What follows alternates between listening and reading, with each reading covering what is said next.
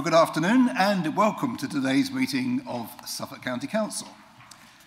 Uh, Council is meeting Council's King Edmund Chamber for the first time since February 2020.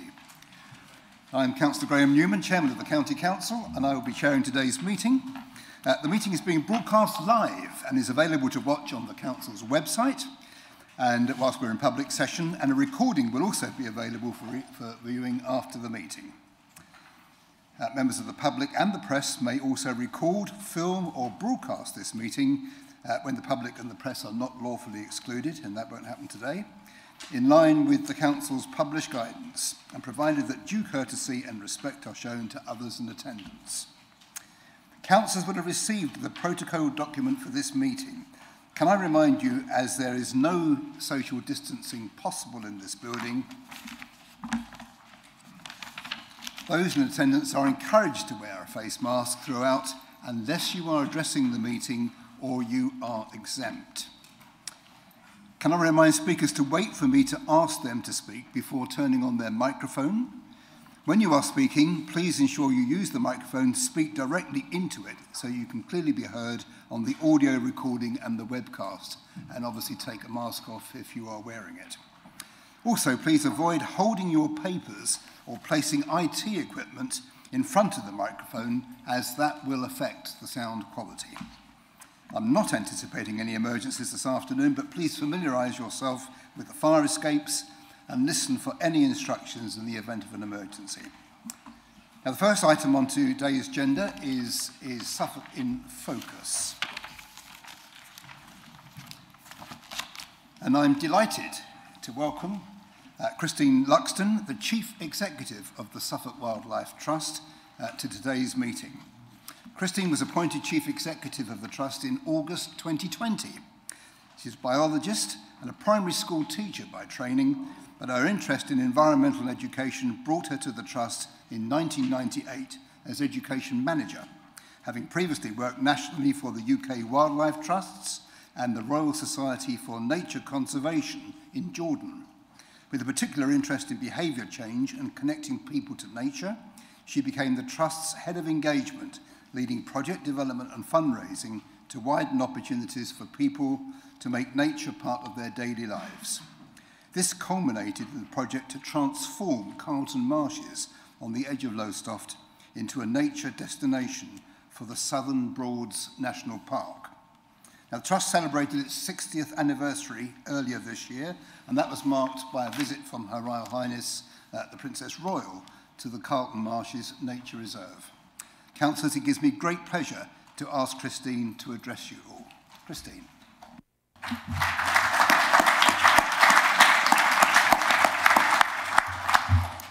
Thank you, Councillor Newman, for the invitation to, to speak today. As Suffolk's Nature Charity, I'm delighted to have this opportunity to share our 60th anniversary celebrations with you all. Um, and I'm really excited to be in a room full of people for the first time. so it's a curious celebration.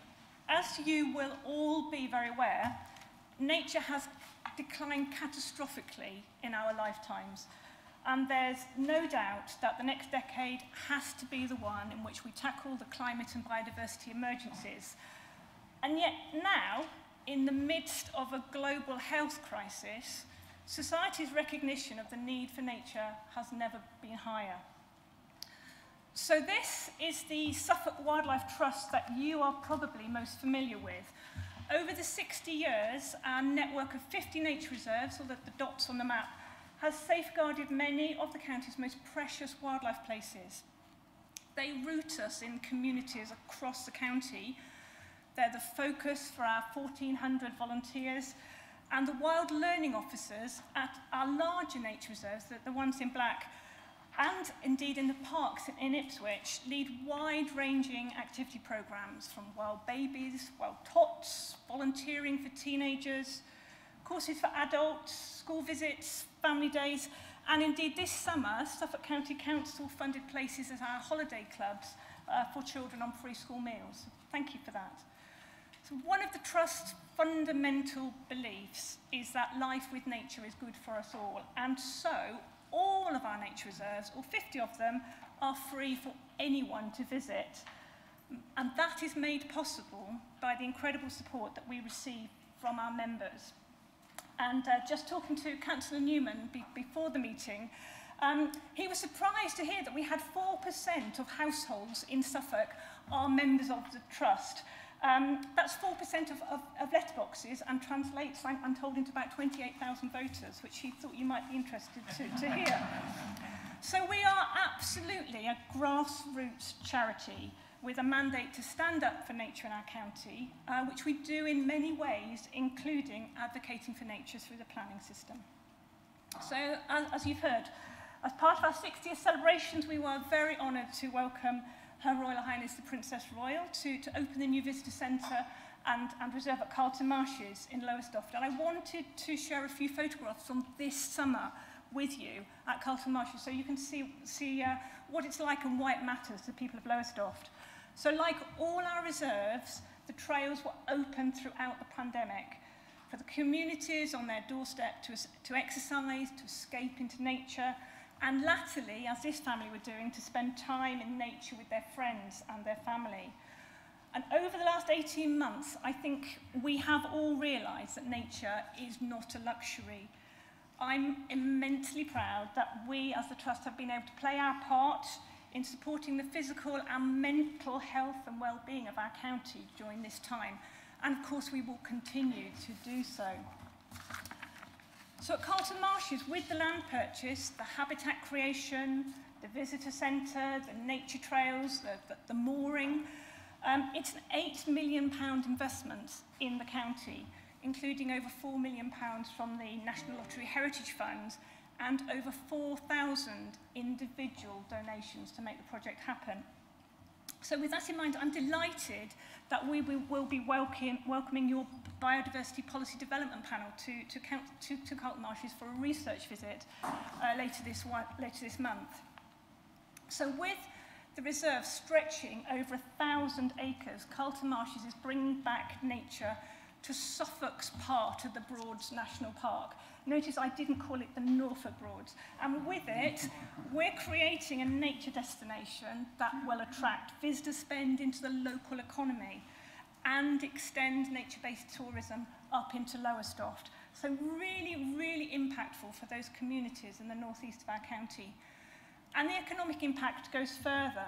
By working on a landscape scale, we were able to embed nature-based solutions to climate change into the design of the habitats. So you can see on the slide here, the river wall that's part of Oulton Dyke, that's designed to overtop when there's a surge tide, and in doing that, we should protect Oulton Broad from flooding. And of course, all those re-wetted former arable fields are all sequestering carbon.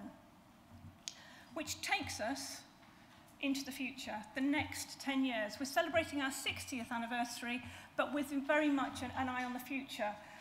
And with an urgency driven by the climate and biodiversity crisis, we are very clear we need to bring nature back. It's not only individual species that are threatened, the col collapse in the abundance of nature also means that many of our ecosystems are not functioning as they should. So our vision for 2030 is a wilder Suffolk, a wilder Suffolk where nature is thriving and abundant once again. And most importantly, it's driven by that grassrootsness that I mentioned earlier. It's a wilder Suffolk where nature is thriving and abundant because everyone is doing more to help. So we as a trust will continue to protect what we have, but just as we have done at Carlton Marshes, we need to restore what we've lost but now at a scale and a pace that needs everyone to, to play their part.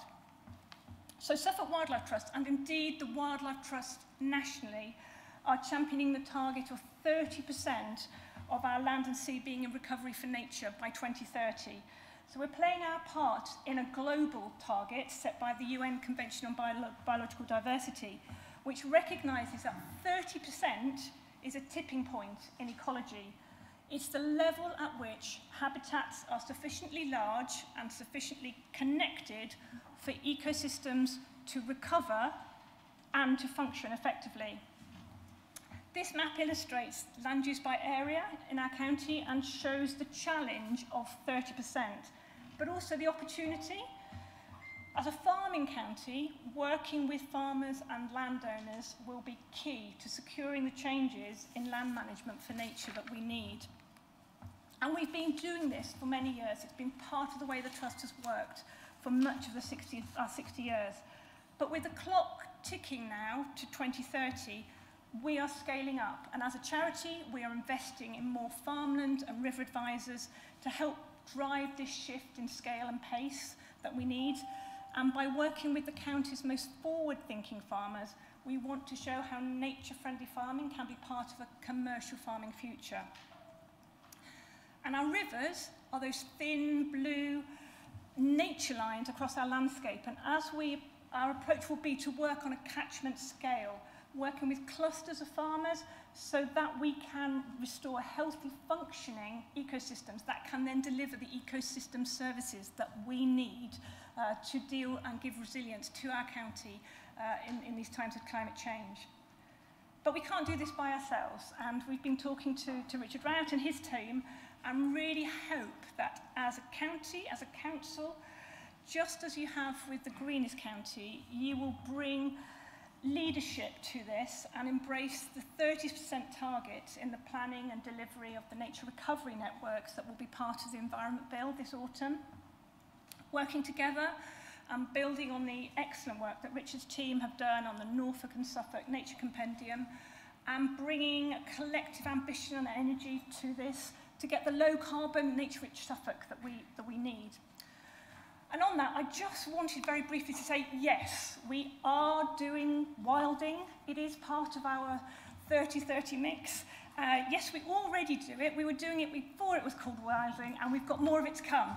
Um, we're just at the beginning of wilding Foxborough Farm near Melton, uh, which will start after the harvest, and we're working with the University of Suffolk on the monitoring there, so it becomes a case study that others can look to. And so with biodiversity net gain, being part of the planning system in the future, wouldn't it be amazing to think creatively and perhaps pool some of the funding that will unlock ambitious landscape scale wilding projects for Suffolk? So I said earlier that our vision for a of Suffolk is where nature is thriving and abundant because everyone is doing more to help. And people are the other side of our wilder equation. So just as 30% is the ecological tipping point, social science has given us a tipping point of one in four at the point where the minority begin to influence the behaviour of the majority. So only 25% of people in Suffolk are needed to be on board taking action for nature's recovery for us to achieve the wilder Suffolk that we are aiming for. For this to be the social norm, so thinking about the No May campaign, which, which lots of councils have been involved with, boosting insect abundance by letting grasses grow and flower, it only needs a shift of one in four people seeing long grass on our verges as a norm for it to become normalised. And look how easily we've got used to wearing masks. So rechange is possible. So over the next decade, we want to mobilise our supporters, their friends, family, schools, businesses, community groups, churches, partner organisations, all of you, uh, into a movement for nature, uh, for nature's recovery, and that's what we're calling Team Wilder. So we'll have wilder gardens, wilder streets, wilder towns, and with it, we hope Team Wilder can become the engagement piece around the Nature Recovery Network. So the Nature Recovery Network will be owned, valued and championed by the people of Suffolk. So thinking about 60th, we're looking to the future, we're, but we're drawing on our 60 years of community-led, community-owned action for nature, but now with the scale and the urgency that our time needs. Thank you very much.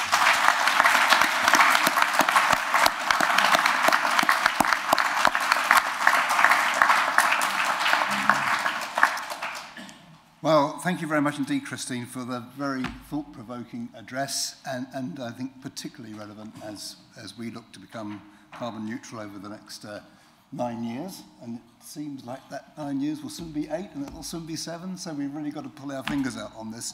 Um, just let you to know, folks, that uh, Christine has left a couple of copies of of the Suffolk Wildlife Trust magazine in the uh, Democratic area. So if you want to have a look at that or even become a member, I'm sure you'll be welcomed. I have to say that as a non-member at the moment. Uh, maybe I'll have my arm twisted before I leave the building. Anyway, you're very welcome to stay with us and take a seat in the gallery if you wish, or of course leave the meeting also. But thank you very much indeed for, for your most interesting talk. I love the railway synonym as well, with the underground. That's, uh, the chap who invented that London Underground map's got a lot to answer for, hasn't he?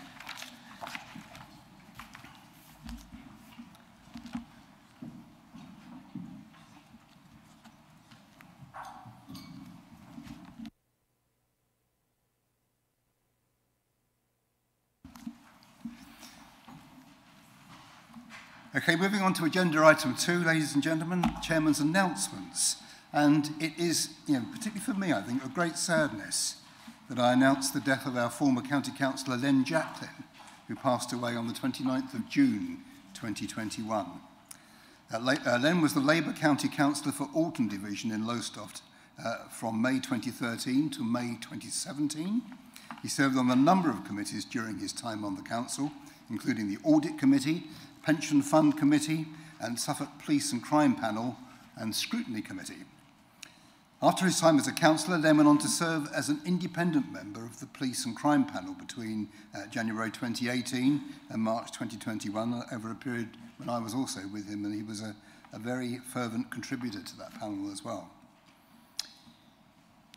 Then it's with great sadness I must announce the passing of Ralph Nesling, who worked in waste services as an operation officer for over 35 years, specializing in closed landfills and hazardous waste.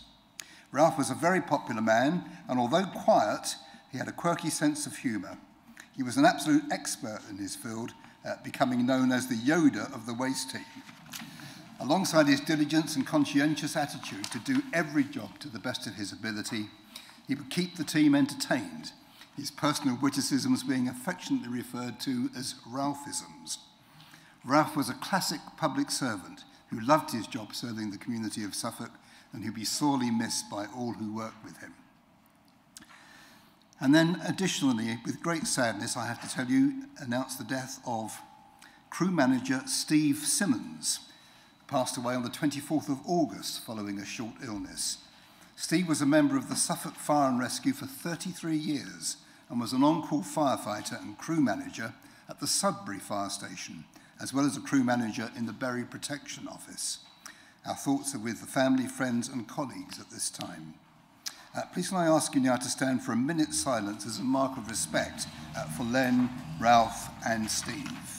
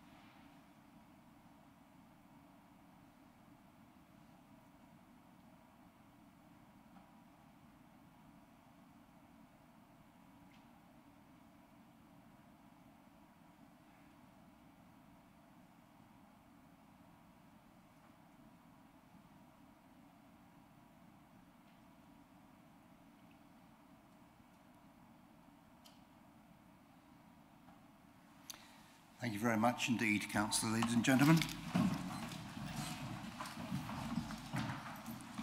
And moving on, um, I need to tell you of John Last's retirement. I'd like to congratulate John Last on his retirement. John has recently retired from the Suffolk Fire and Rescue Service after an incredible 48 years as an on-call firefighter in Leiston. His loyal service has been recognised at the highest level in December 2019, he was awarded a British Empire Medal in the New Year's Honours List. John is a highly respected member of the local community in Leiston and within the service. I'm sure councillors would like, me to, like to join me in thanking John for all his commitment and dedication over the past 48 years. Ken Williamson is also retiring. from his role as area manager with Suffolk Fire and Rescue after a fantastic career spanning 29 years. Ken has served Suffolk in numerous roles and locations and was a key member of the senior team during the 2019 inspection from Her Majesty's Inspectorate for Constabularies and Fire and Rescue Services, in which the service received a good in each of the three pillars. I'm sure councillors will, wish, uh, will join me in wishing both John and Ken very happy and well-deserved retirements.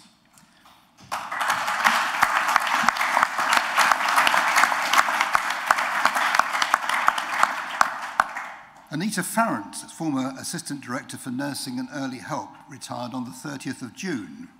Anita was a nurse, a midwife and a health visitor and started working for Suffolk County Council in 2011 uh, when the health visiting and school nursing service for East and West Suffolk moved to Suffolk County Council. She led on the successful bid to provide a 0 to 19 year old um, healthy child service across the whole county and on designing the new service and also on creating a family hubs model. Anita is a passionate advocate for children and nursing. She is much missed by her many colleagues, both in the County Council and in partner organisations.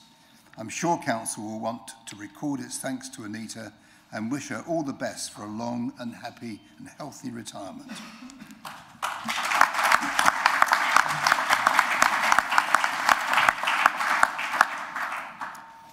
Very pleased to announce that Suffolk Archives Sharing Suffolk Stories, Pride in Suffolk's Past project has received a National Archives and Records Association UK and Ireland Archive Volunteer Award. It was commended for the way it engaged with people who do not traditionally use or interact with archives. Dedicated volunteers connected with uh, Suffolk's LGBTQ plus community to explore and showcase hidden or untold stories from the past in innovative ways through escape rooms, art, dance and film workshops, drama performances and family craft activities. They also collected contemporary lived experiences from today's community. These were combined and shared in a groundbreaking exhibition at the Hold. Congratulations to everyone involved. The Vertas Group has been awarded highly commended in the ROSPA Facilities Management Sector Award. Achieving this award is a high achievement and highlights the continued commitment to developing health, safety and well-being across the group. This is a significant improvement on last year's award and is the third consecutive year where the Vertas Group has received recognition for excellent health and safety performance, with improved successes year on year so congratulations to the Vertas team on that. I think they do deserve a round of applause. Bearing in mind the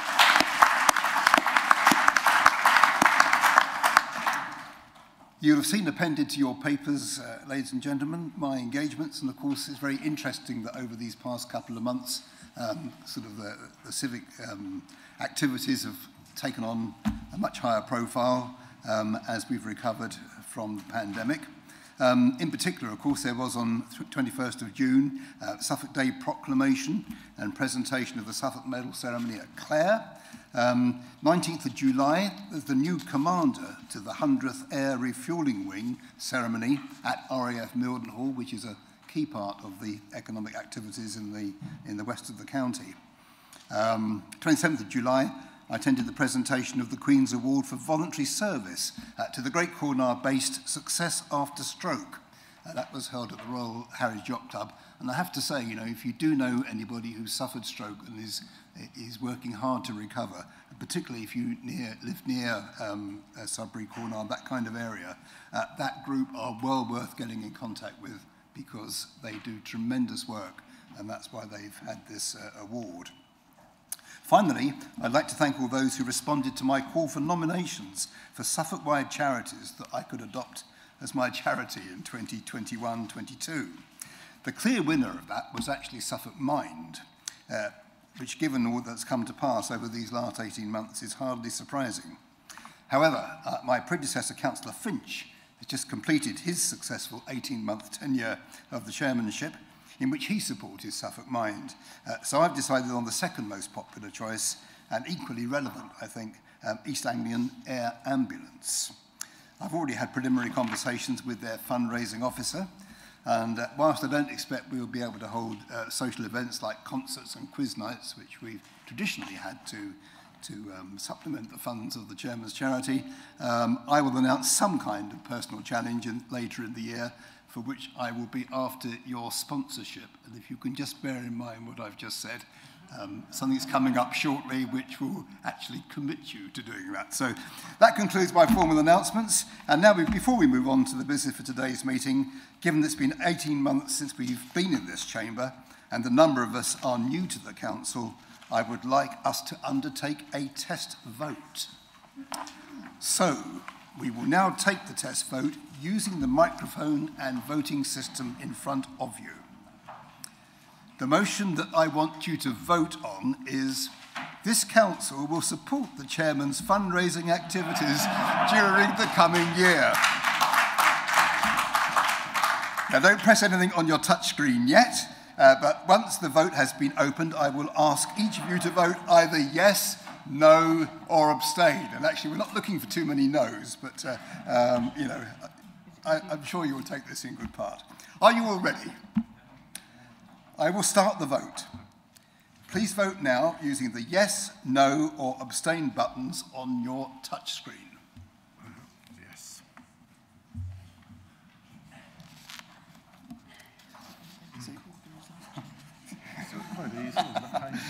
Please ensure that your screen shows the words, your vote has been cast.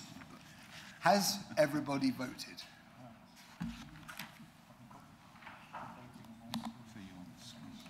Hey, Rachel, we have one here. Shows up like that not working. Yeah, no, did.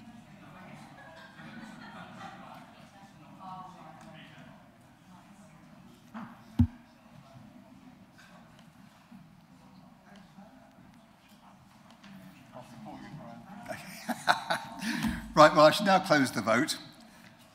And there is. Oh, look at that. right, well, um, we'll have a recorded vote on this then. But, uh,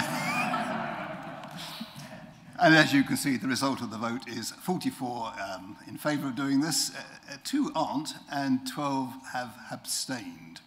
So thank you very much for that participation. Do we need to add Councillor Everitt to this uh, vote? We do. So that might make it uh, 45 for. Lovely. And that does actually mean that the vote is carried, ladies and gentlemen. Okay, moving on. Um, it's now time for apologies for absence, and I've received the following apologies from absence from councillors. Uh, Councillor Alexander Nichol, uh, Joe Mason, Sandy Martin, Penny Otten, Bill Quinton, Peggy McGregor, Craig Rivett, Jenny Sarisa, Debbie, Ren- uh, Debbie Reynolds, Debbie Richards. Giving my age away there, aren't I? My goodness me.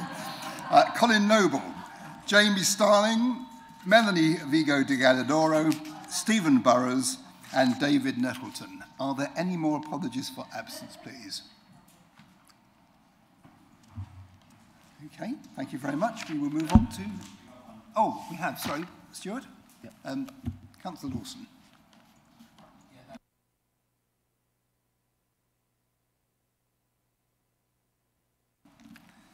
Thanks for that. Okay, item four is declarations of interest and dispensations. Do councillors have any interest to declare in respect of today's agenda? Just raise your hand. I see no hands raised. Thank you very much. Moving on to agenda item five, our minutes of the previous meeting held on 27th of May 2021 at uh, Wherstead Park, you will remember. Any uh, councillor wishes to comment on these minutes, please indicate to the monitoring officer that you wish to speak. If there are no comments, I will take it that council is content to approve the minutes as a correct record.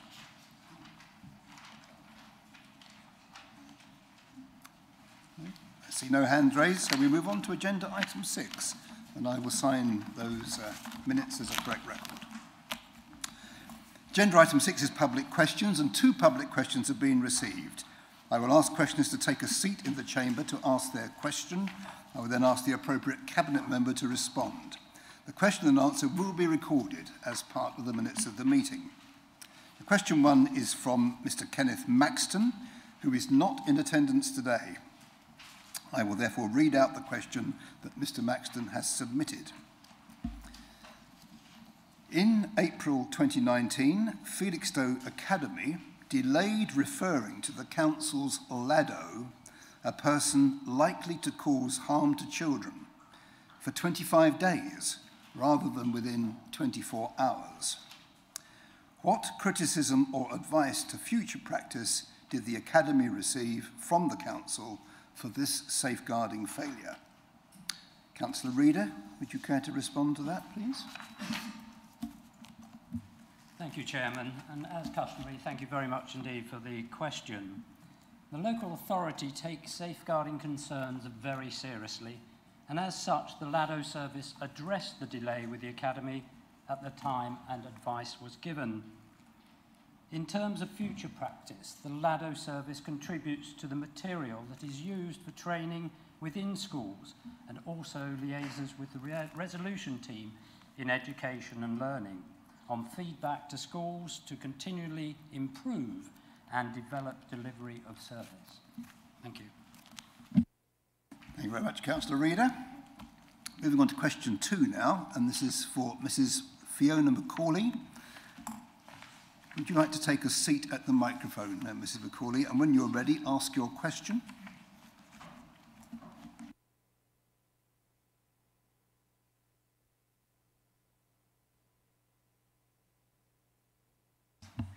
Thank you, and hello again, everyone. In rural villages in Suffolk, where next to no public bus services exist, can the council representative explain the purpose and benefit of cutting the size of a school bus on certain routes where there are plenty of parents willing to pay for spare seats on the original sized bus, the cost of which would easily be covered and perhaps even a profit made? Thank you very much, uh, Mrs. McCauley. Councillor Hood, will you respond, please? Uh, yes, and thank you, Mrs McCauley, for asking uh, such a pertinent question. Uh, every summer, school travel routes are reviewed to ensure there are enough seats for pupils who are eligible for Suffolk County Council funded school travel and post-16 students who qualify for travel. It is a parent's responsibility to make arrangements for their child to travel to and from school when they are not eligible for Suffolk County Council funded school travel. And unfortunately, the council is not legally allowed to procure transport for the purpose of providing travel for non-eligible pupils. For families who live in rural areas and for those pupils who may not be attending their nearest suitable school, the Council has worked and does work with bus operators to review the public transport network, and this has enabled more children to travel to school on public transport. We have also procured more vehicles that are compliant with Public Service Vehicle Accessibility Regulations 2020, so that non-eligible pupils may be able to purchase a spare seat.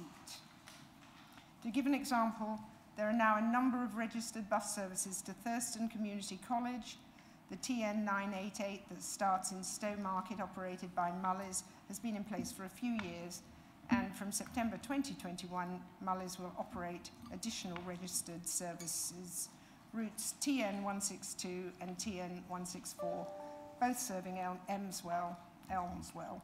One route north, one route south of the village, operating at school times. The TN 164 has now been amended by the operator to encompass Walsham, the Willows, and Badwell Ash.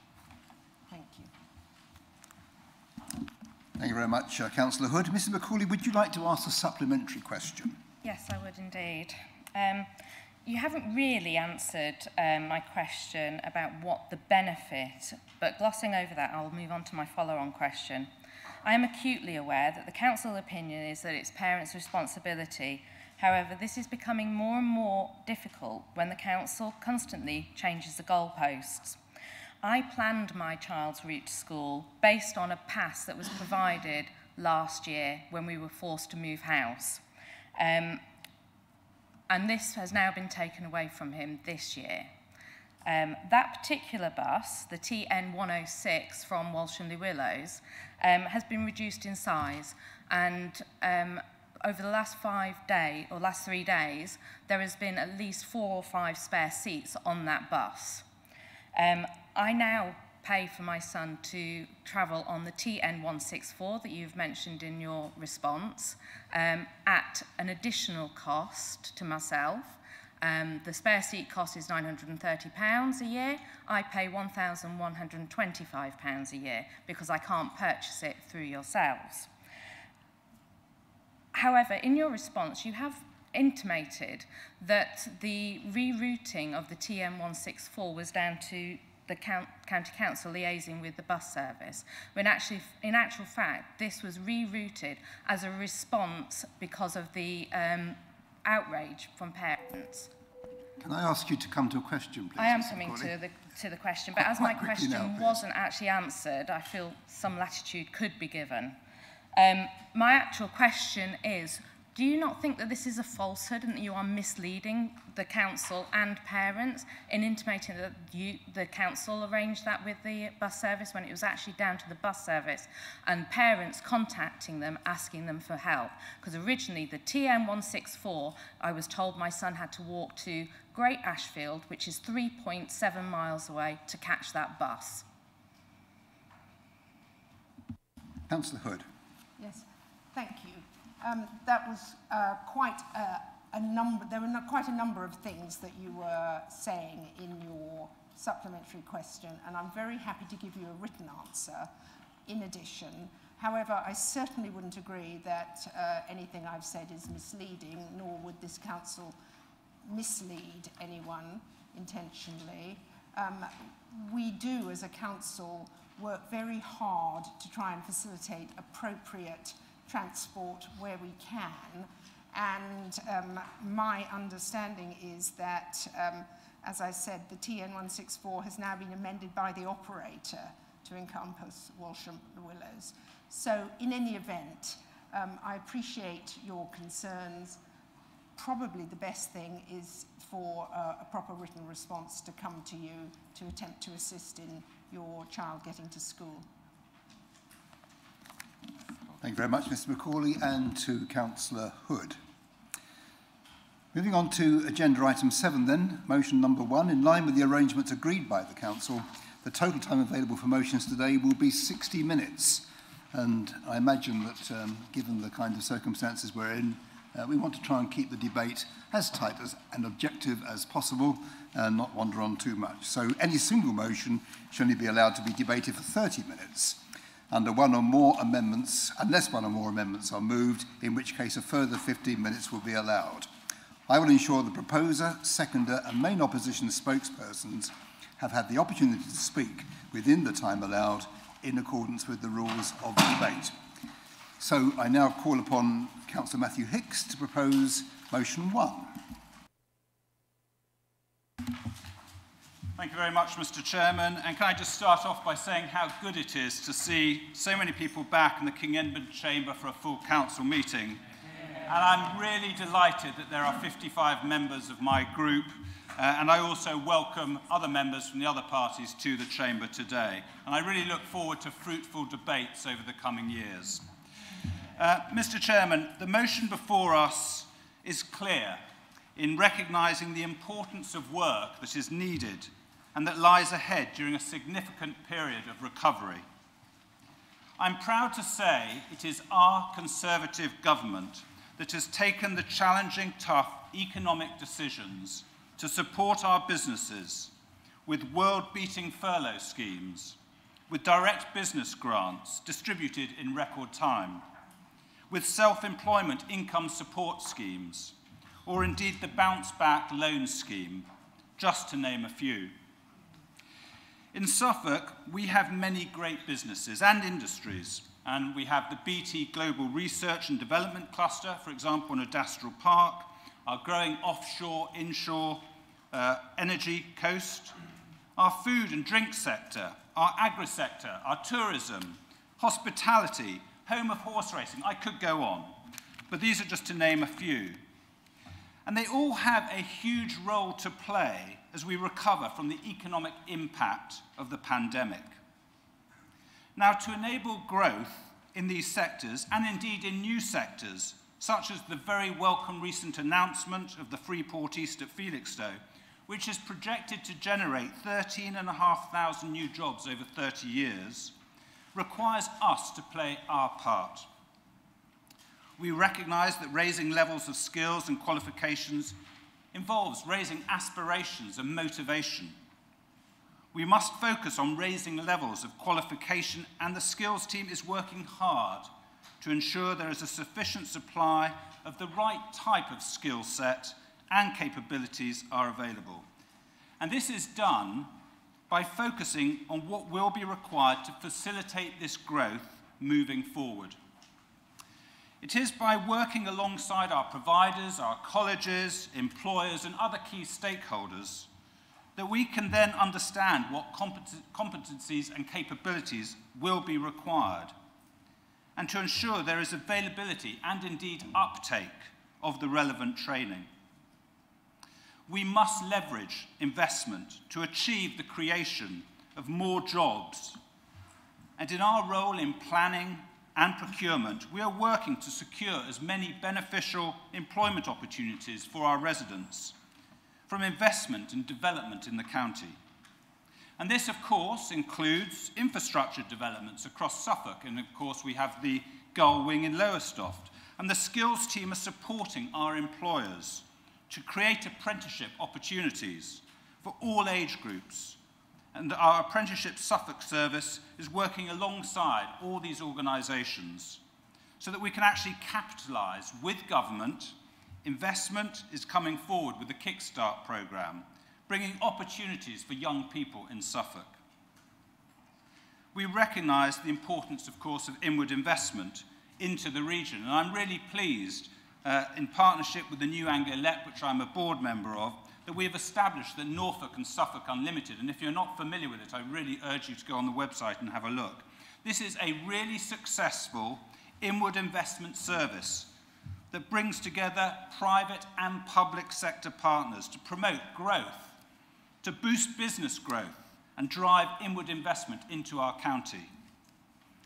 Suffolk Public Sector Leaders has allocated one and a half million over the next two years through the Climate Emergency Plan as part of our ambition to reach net zero by 2030.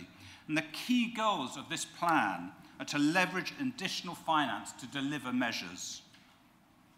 Mr Chairman, I'm really delighted to bring this motion and I ask for the Chamber's support today because Suffolk has a great talent pool.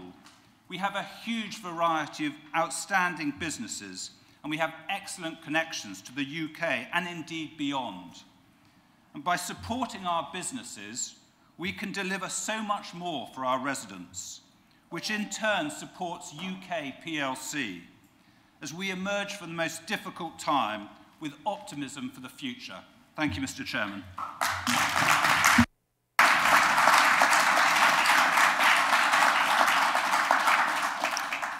Thank you very much. Councillor Hicks, do you have a second, please?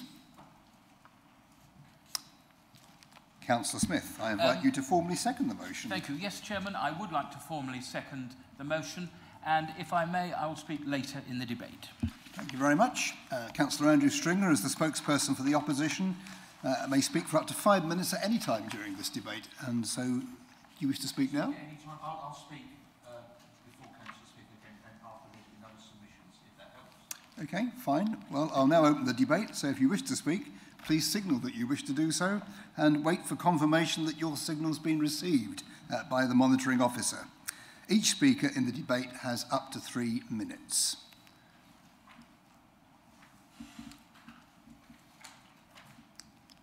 I think Councillor Kemp, you were first on the list, please. Right, thank you, Chairman. Well, I think everybody in this chamber will support the drive to create uh, more jobs and opportunities within the county of Suffolk. I specifically want to address two issues that I can't see are covered within the uh, proposals. And one is obviously the biggest earner that we have within our midst, which is tourism, which is bolstered, of course, by the service industries that have suffered so badly under this current situation. I would like to see some firm proposals to further bolster the tourist aspect of our future plans from this county. It is the biggest earner and I believe the biggest employer of labour within this county. So that's number one. Number two, I hope to be very parochial, but I was born in Long Melford, so I'm going to use that as an example. In Long Melford, in 1960, the population was 2,250. The current population, not adding all the many developments we've had recently, is in the region of 4,000 people.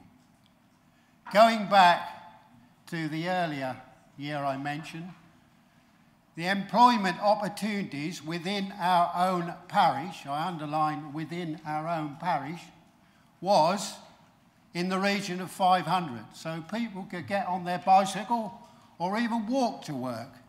Many of those were in the manufacturing industries which have been lost this country. And what have we got today? We have, counting service industries, barely 100 jobs. So I would like to see a strong emphasis from this council to engender further opportunities within our villages and small towns for employment, to seek entrepreneurs and to bolster their activity by way of grants. I accept what the leader has said about LEPs. I've been involved with a recent grant application for one of those small businesses. So there we are. I asked for two concentrations, one on the tourist aspect and the other on encouraging things back to what they were.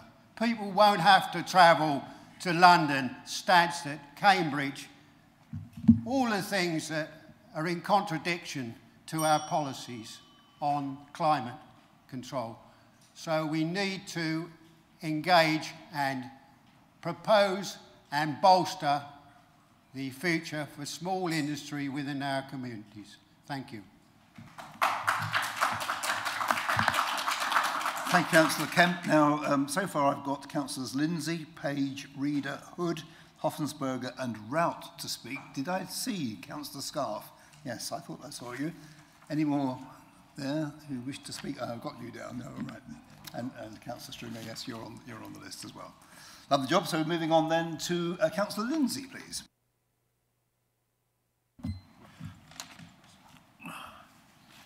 Yourself. Thank you, Chair. Um, yeah, I'm really glad that you brought this motion forwards because uh, it's something that really needs to be debated. Um, and I'm afraid it's really disappointing.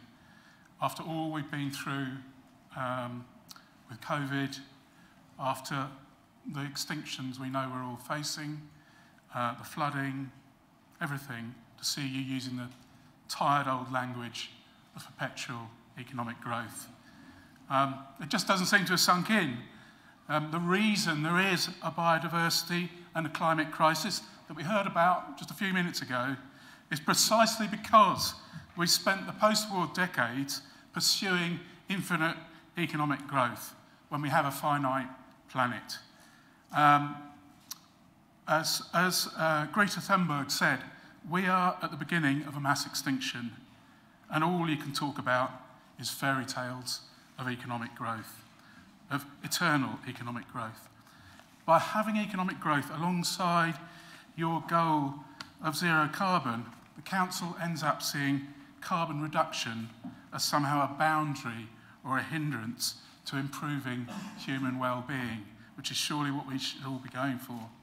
Um, in actual fact, we forget about worshipping growth as a goal and focus on tackling the climate and biodiversity crises. We create a huge opportunity to build back better from the bottom up strengthening a village and town economies, localising the economies, and improving the well-being of our citizens. For, an exa for example, there's an army of tradesmen, um, now and potential ones in this county, that are ready to step up if they're trained to retrofit homes with air source heat pumps, and with insulation and all the other technologies that are needed. There are hundreds of potential craftspeople in every village and town who could work from home to be encouraged to upcycle people's old fridges, uh, uh, washing machines and what have you, uh, into useful products, rather than allowing them to be carted off to the dump or flighted. Um, there are an array of potential entrepreneurs in every town and village in Suffolk, known as the pedestrian pound, who would be unleashed by making our towns and villages walkable, by reducing the traffic in them. Um, so I'm not going to support this motion, um, and uh, I'd urge others not to. We did try to amend it, um, but you weren't interested in that. Thank you.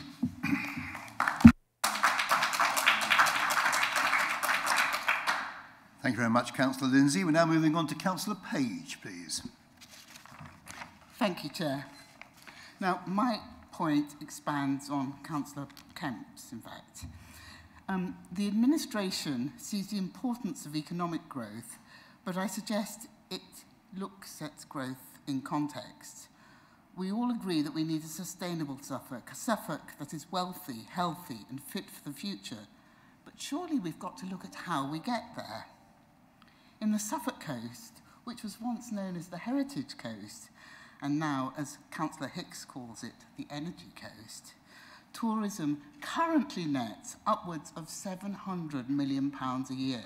It, it employs over 15,000 people. That's 11,000 full-time equivalents. And the length of it's enjoyed, we, we just heard from Christine Luxton, very passionately, it's enjoyed from Felixstowe to Carlton Marshes. Okay? Yet growth for Suffolk Coastal would seem to involve building infrastructure for Sizewell C, which will do nothing towards reducing our carbon footprint before 2030, and would have a devastating impact on the status quo. This would not be growth, it would be negative growth. More and better carbon reduction and sustainable growth would be made by improving sustainable transport in the rural east for residents and tourists and wildlife alike. Thank you.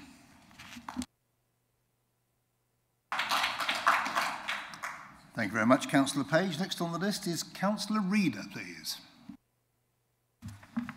Thank you very much, Mr Chairman. Uh, I'm very pleased to support this timely motion as we recover from the last 18 months.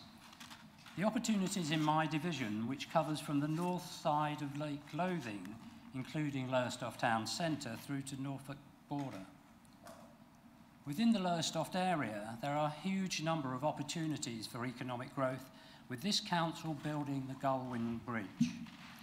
It brings huge opportunities not only for Lowestoft, but also for Suffolk. I see the Gullwing Bridge being the catalyst for many of these opportunities of inward investment to our town being taken forward.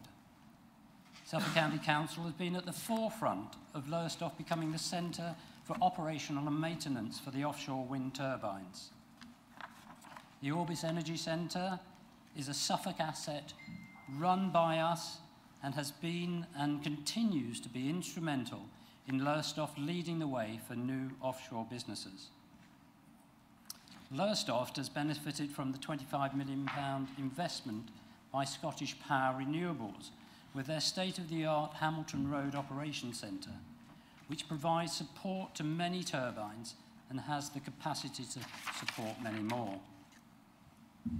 ABP, which operates the port, has an extremely exciting one in a generation, if not in two generations, plan for massive investment with their LEAF project. That's the Lowestoft Eastern Energy Facility, which will transform our outer harbour. This project would raise the number of local high-paid jobs which is crucial for any community to be able to support our high street businesses and leisure facilities. Here again, Lowestoft has a great opportunity with the government's town fund investment of £25 million. We must have all these projects coming together, or at least following very closely behind, so that each one can benefit from the excitement and the buzz that each one brings to the area. Mr Chairman, time limits me, but there are many other examples why we should remain optimistic and this motion will give businesses in our county and those looking to move here a very strong message that this authority will encourage and support business growth, which we all know is so vital for the prosperity of our residents. Thank you. Yeah.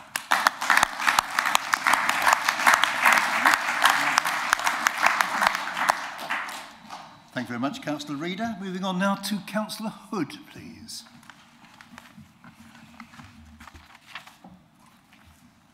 Thank you, Mr Chairman.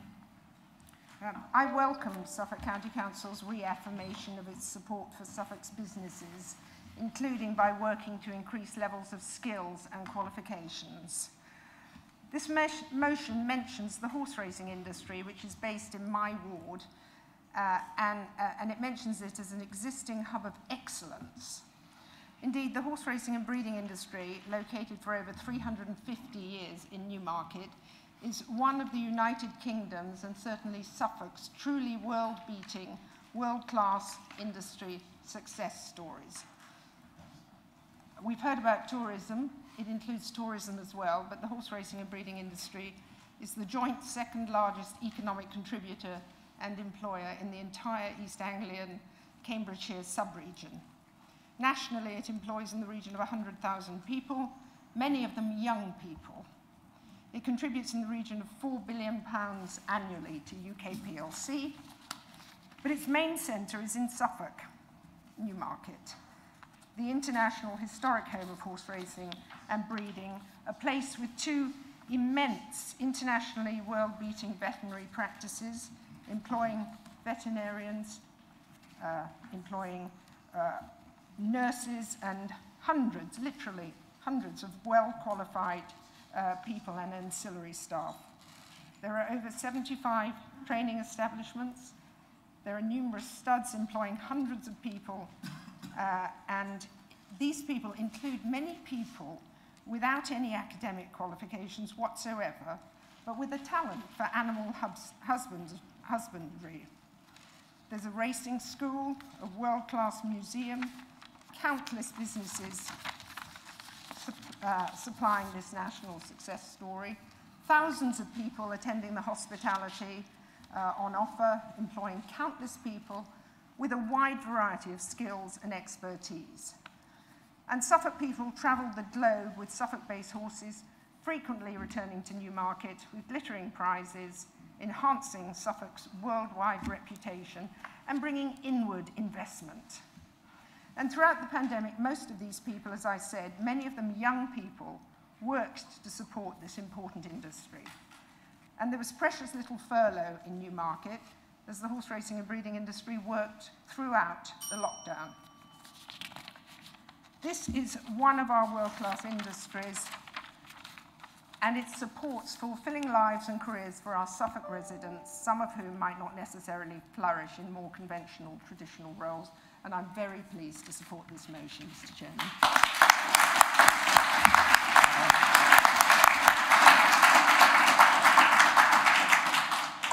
Thank you very much for that, Councillor Hood. Uh, ladies and gentlemen, we are getting a lot of pings, bangs and bongs coming out of computers and other devices. If you could just please um, silence those or at least turn the volume down because they will sound incredibly loud over the, um, over the transmission on the web because they're right in front of your microphone. So thank you very much for that. And we now come to Councillor Hopfesperger.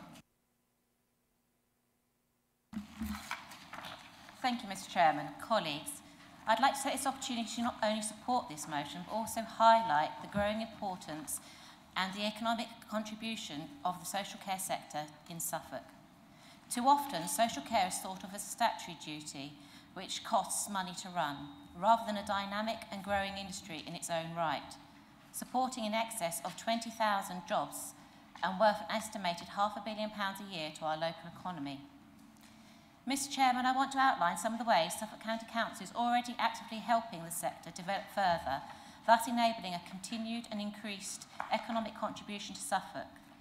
These initiatives include our car care market sustainable strategy, which is looking to identify funding and cash flow solutions for providers, promoting the recruitment and retention of care workers, upping the number of care places available, and addressing gaps in specialist support. We are, along with North, Norfolk County Council and the DYP, investing £8 million in developing skills of the care workforce. And the launch of our Integrated Care Academy, the first of its type in the country, where we are working in partnership with others to, de to deliver five innovative programs of support in areas such as education, training and skills. And this will help meet our shared vision to enable the best possible integrated care accessible to all.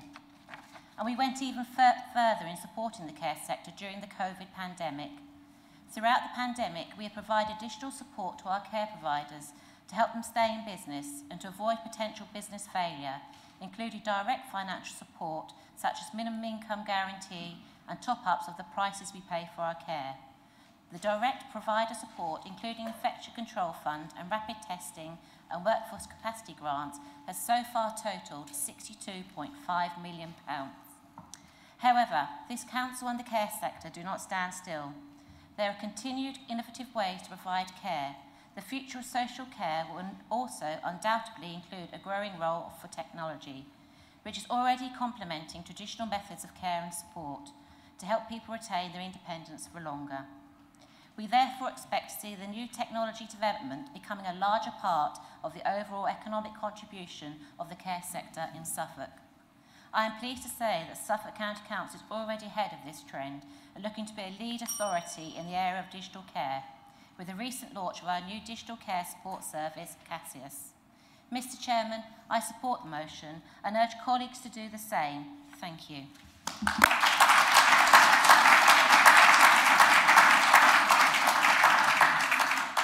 Thank you very much, Councillor Hopfesperger. So we've got Councillor Rout, Scarff and Thompson uh, to speak yet, and also Councillor Richard Smith, obviously, to second, and Councillor Stringer to sum up um, for the opposition. So unless there is anybody else wanting to speak, I'm going to close the list now uh, because we have been well over 30 minutes by the time uh, we've taken those contributions. So Councillor Rout, please. Thank you, Mr Chairman. I'm pleased to speak on this incredibly important motion as we begin to step out of this pandemic. As you would expect, I want to focus on our environmental ambitions for Suffolk and for Suffolk's businesses, and indeed on Suffolk's climate emergency plan. Suffolk public sector leaders have allocated 1.5 million over the next two years to support the initial delivery of the climate emergency plan and our ambitions to achieve net zero emissions by 2030. So many of the themes in the motion resonate with the emergency plan, which emphasises not only the need for collaborative action with businesses, but also the need to address industrial and commercial energy use. This is an area where this council continues to support businesses with access to grants and advice, such as through services like Business Energy Efficiency Anglia, which has helped businesses cut over 1,500 tonnes of carbon each year, and the Carbon Charter, where over 500 businesses are accredited. The east of England, Mr Chairman, is home to over 52% of the UK's installed capacity for offshore wind. Wind farms are continuing to be constructed along our coastline, where shallow waters and fresh winds make it the ideal area for renewable energy. It was said in the House of Commons that the North Sea is to wind as the Middle East is to oil. Some of the world's biggest wind farms are planned for, being, planned for or being built a few miles off the Suffolk coastline. And while this brings with it planning challenges, an area where we are at the forefront of the calls for offshore coordination to minimise impact on our communities. It also brings with it huge economic opportunities. Mr Chairman, in August this year, the government launched the UK's first hydrogen strategy. Activities planned in Suffolk will put us at the forefront of this, including Sizewell Seaco launching a demonstrator project to, to produce pink hyd hydrogen powered by electricity from Sizewell B.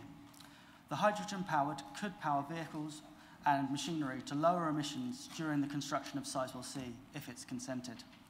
Hydrogen from this demonstrator could also be used for public transport, such as local buses. Freeport East will also be working with the demonstrator to create a hydrogen hub to decarbonise port operations and help develop alternative fuel port equipment, establishing a test bed to showcase hydrogen's potential in a port environment.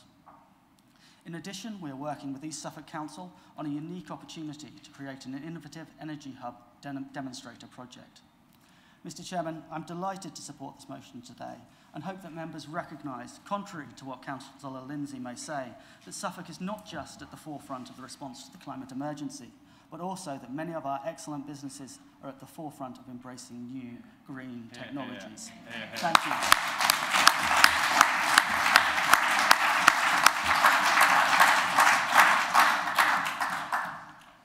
Thank you very much, Councillor Rout. I now invite Councillor Keith Scarff for a maiden speech, I think, sir. Indeed, Mr Chairman. Uh, thank you very much. Um, in the original motion, it talks about the existing hubs of excellence and mentions some specific sectors, albeit acknowledging the many others. Uh, our group adds to this list with food production, brewing and distilling, and the voluntary sector. And I'm pleased to say that the leader has at least added one of those to the list in his precursor.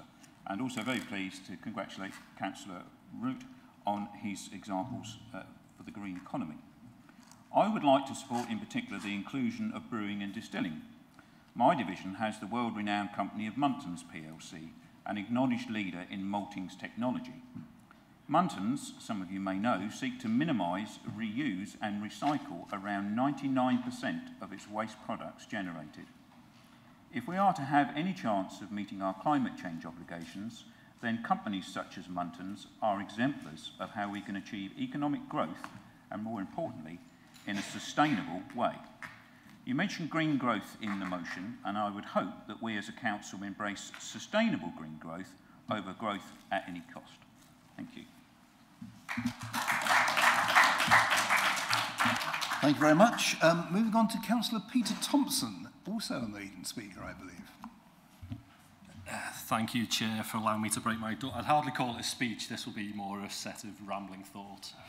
So, um, uh, I didn't plan on speaking on this uh, at the start. However, there were a, a couple of comments made specifically by uh, Councillors Kemp and Lindsay that I felt had some dichotomies within them. So I thought I'd uh, give my little bit of input in there. So um, you could probably tell from my accent, I grew up in Liverpool in the 1980s, and I would hardly call that a, a centre of, of uh, economic success. One of the reasons was population collapse, and one of the other reasons was um, the modernisation of Felixstowe docks and the failure to modernise from Liverpool docks. And I saw that with my own eyes with, with things that were around me. When I was a, a child, I think the, the wider Liverpool area had 1.1 to 1.3 million people there, something in the region, 750,000 now. Economic growth is not a bad thing. There are things, uh, there, are, there, there are various flavours of economic growth, and I think the way that we're doing it on these Conservative benches and, and uh, with the, uh, the Council at the moment is it's very sensible, and as Councillor Rout says, it's hand in hand and sensibly with the uh, climate emergency declaration that we have. I would point out that we're in a global economy. Um, one of the, the people I admire in, in the world is Elon Musk, for example, and he's gone from sleeping on a couch to having arguably uh, one or, or two of the, the most uh, valuable companies in the world, and he's done that through green technology. I'm going to point out one or two things here that, that we, we do in Suffolk. My ward is uh, Eastgate and Moreton Hall, and we've just gone through uh, inst the installation of CityFibre. We're at the cutting edge of modern technology, which will allow us to um, get to villages like Long Melford. Now, I doubt that the villages in Long Melford can build an iPhone as cheaply as they can in China. But what we can do is we can utilise modern technologies, the green economy, and uh, act in a sensible way when we're looking at economic growth. So we're not harming the, the environment, we're doing the right things and taking advantages of those technologies that will allow us to growth, uh, to, to grow. Um, that allow us to grow, but do it in a sustainable way. Thank you, Chair.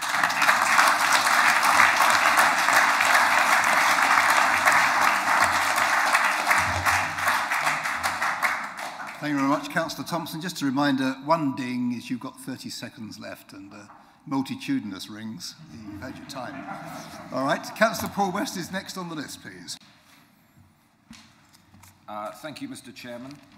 Um, before I come on to what I was going to say, I note, I, I think it was Councillor Scarff talking about um, his uh, business in his area. I just remind him that part of his team on the, the front bench, the, the Green Party uh, spokes uh, team, are actually in support of uh, banning advertising of alcohol products. So it's worth bearing in mind, I think.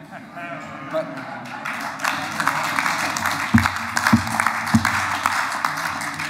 but, but actually, if I can just follow on from what from what Councillor from what Councillor Thompson said a moment ago, um, in relation to what Councillor Lindsay, I think it was, he, he's, he mentioned growth as, as though it's some kind of bad thing.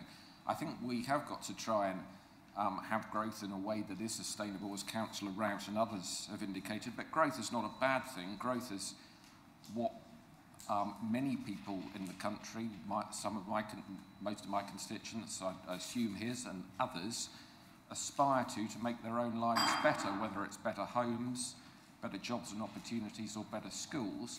And often growth, the word growth can be sort of um, said in a derisory way by those who already enjoy good homes, good jobs and, and good opportunities.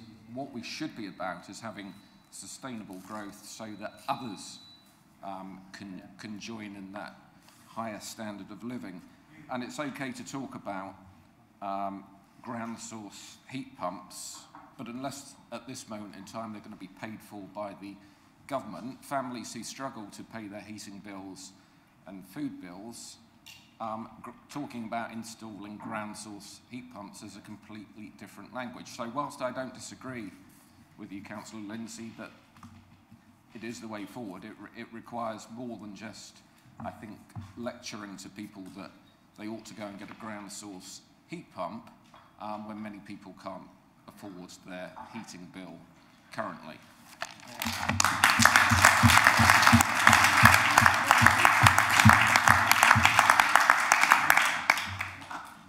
Chair, with, with your indulgence, Chair, I, I really must have a point of clarification on the Green Party policy about banning alcohol advertising.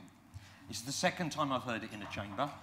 In our previous chamber, it was mentioned by the leader, Councillor Hicks.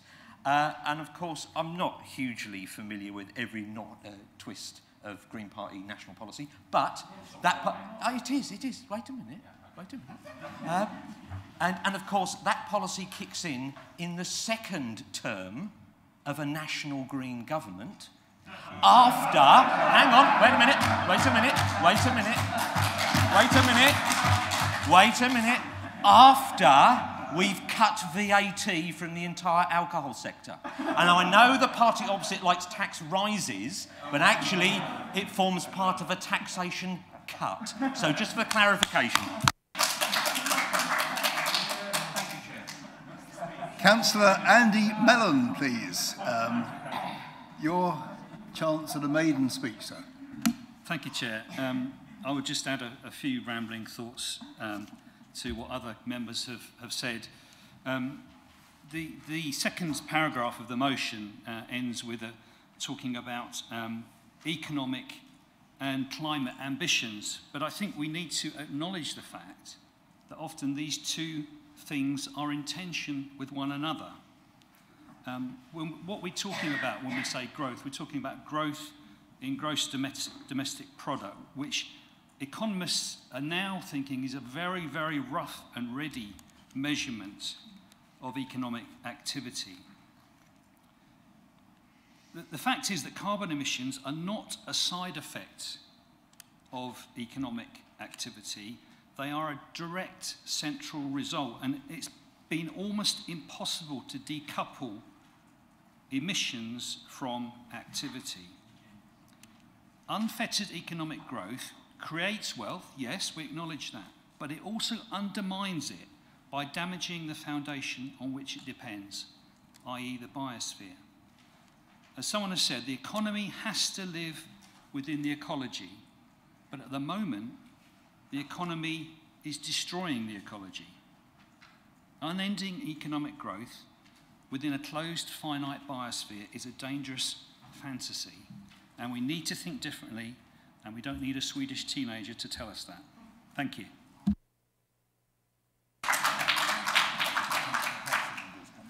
Thank you. Councillor Hudson, would you like to now speak, sir? Well, thank you, Mr. Chairman. Uh, I think I'd rather rely on the facts, actually. And th there's a there's, there's basically a lovely quote here from the uh, Office magazine, The Spectator.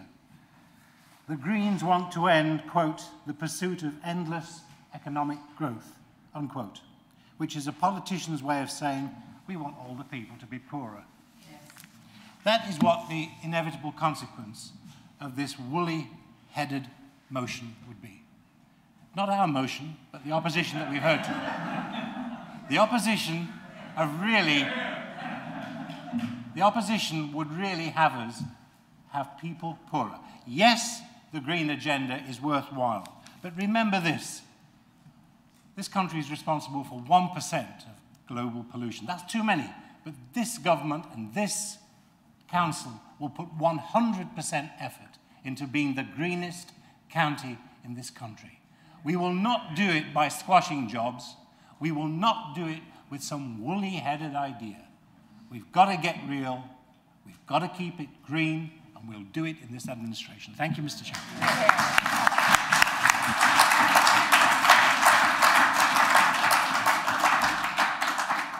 Thank you very much for that, um, Councillor Hudson. And now, Councillor Richard Smith, it comes to you as seconder of the motion to speak, please. Chairman, thank you. Be before I get underway, can I congratulate many people who have speaken, spoken in the debate today but particularly Councillor Thompson. Thank you very much indeed for your very wise words.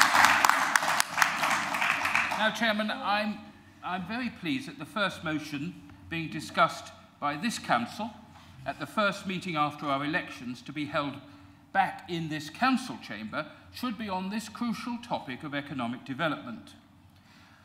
Following our election, I have to admit I was a little surprised to be offered a post back in Cabinet but when it's explained that the responsibilities included economic development, I was keen to accept and also to reflect its importance by it becoming first in my title as Cabinet Member for Economic Development, Transport Strategy and Waste.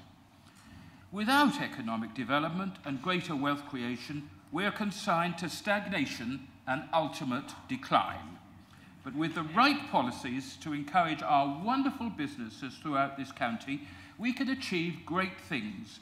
Full employment, increasing wage levels, providing greater disposable income, and a welcome increase in skills levels and qualifications, all of which have widely felt benefits, which I'm sure I don't need to spell out any further. My party has always been regarded as the party of business. In local government, our levers to influence businesses are limited. And frankly, the best thing we can often do is to leave the business sector alone to get on with what it does best, creating wealth and prosperity for the wider good. We mustn't be tempted to try and interfere in business processes or in the quantity of services provided, although the quality of those services is of legitimate interest to us and the business sector often is best served by us just getting out of their way. Although this authority does not play a major role in planning processes, these should be simple and be as rapidly completed as possible and be there to encourage, not to hinder, our industrial wealth creators. And as far as transport goes, and here I speak wearing a different hat, that of transport strategy, we need a true 21st century infrastructure fit for near-term as well as longer-term demands. Mainly through the excellent forward planning and ever-growing influence of Transport East, a regional body whose staff are based in this building, I'm confident we'll gain the ear of central government and attract the large-scale investments that we need into road, rail and other enhancements to promote all aspects of economic development. Now, in their speeches, both the leader and the deputy leader of the council mentioned the Freeport East initiative. The success of this scheme is crucial to much of Suffolk's medium-term growth prospects. A great deal of work is taking place now here within the small but effective economic development team who are working hard against a tight timetable to deliver an interim business case on which the government will start to base future funding ideas. Next year, a full and detailed business case will be required and funding decisions should start flowing in 2023. From that scheme, it's obvious that the port of Felixstowe will benefit, as indeed the UK's major port should do. But the wider benefits will also prove significant, especially along the A14 corridor, which joins into the new aspirations for the Oxford to Cambridge ARC, a term that we'll all hear more of in the, new, in the near future. Now, I haven't time, alas, to highlight many of Suffolk's other success stories, but some of our business success areas are mentioned in the motion, not alas tourism, and I think that was a mistake of mine because I think we do need to recognise tourism, but there are very many others that could have been listed as well. We know who they are and where they are and what they are, and they truly do range across the length and breadth of our special county. Let us all be proud of them. Let's encourage their growth and the entrepreneurial, entrepreneurial spirit that goes with it, with it.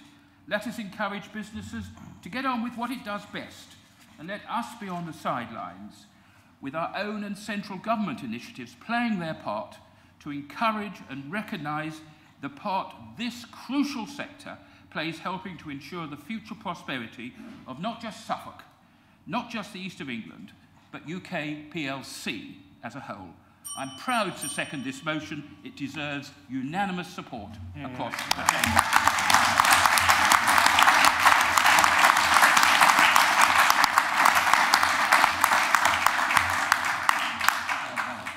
Very much, Councillor Smith. Um, Councillor Andrew Stringer, please, to give the opposition spokesperson's view. Thank you, Chair. Uh, before I get into the main part of my speech, I voted to help you and assist you with your charity, uh, but I will pledge to mend a puncture on your bicycle when you're fundraising, Chair. uh, the, uh, this motion is quite timely for us in the, in the week that my sector of Suffolk uh, had its transport to what was Otley College, Suffolk Rural College, cut. Uh, so you can't get to the skills centre that will teach you to bricklay and all those agricultural services from my section of Suffolk because of cuts to our bus service. So I hope we can take something from this motion and, and reverse that cut. Uh, as we hopefully do emerge, though, from the COVID-19 pandemic, it, it presents us with, I believe, a unique opportunity and a chance to rebuild our economic future for the benefit of all while within our environmental means. This opportunity will require us to rethink and challenge the models of the past and learn from history and the best minds from now help us craft the best future for us all. Solely using economic growth, not development, economic growth as your aim is simply too simplistic for the challenges we face.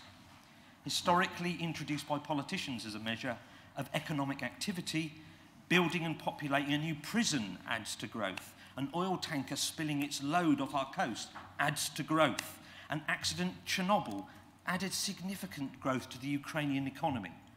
Because we've doggedly pursued never-ending economic growth is the single biggest reason we faced our declared climate emergency. A declaration pro proposer uh, of the motion voted for, but sadly the seconder voted against. But our politicians like, do like rampant economic growth as it can help disguise tax rises. But the resultant boom and bust cycles have been utter disasters. But during these dire economic times, debt collectors and bailiffs proliferated, adding to economic growth. This clearly demonstrates that not all economic growth is good, and this motion enshrines that all economic growth is good. The motion also includes the phrase UK PLC. I had to look up the definition. It basically means all of the commercial community as a single organisation. So the UK PLC may have an array of economic ambitions, but it certainly doesn't have a collective climate ambition. So basically, the, the, the, the, the motion is fundamentally flawed. It's basically an oxymoron. Uh, so I, I won't be supporting it, sadly. Uh, does that make me anti-business? Does that make me anti-inspiration, uh, aspiration? Absolutely not. Absolutely not. Uh, it, it, it's, the motion suggests that our climate uh, emergency plans restrict economic futures. Absolutely not. Stowmarket car-based charging manufacturer EO was sold three weeks ago to an American company for 124 million pounds. Best of luck to them. And I hope they reinvest that money in the town that they made it in, which was Stowmarket. Uh, what we desperately need is an economic model that delivers for the needs of all while living within the bounds of the planet's resources. And that economic, economic model exists, even if I can't say it. It's basically called donut economics. I'm surprised it wasn't in the motion. In fact, if we could have not socially distanced, we would be handing out donuts right now. It means donut economics, please look it up, I haven't got time to go into it in detail, but it means that everyone within the circle of that donut gets all that they need in terms of to thrive. But the world's resources are on the outer part of the donut. So you need to keep your economy within the edible part of the donut. If not, you are, if you're in trouble. Uh, which, we, which we indeed are. That brings me to wealth. Definition of wealth is an abundance of valuable possessions or money, an abundance. Uh, when we look at any motion from the administration, we take it very, very seriously, which we tried to work with you and very quickly to suggest some amendments, but it's not a problem.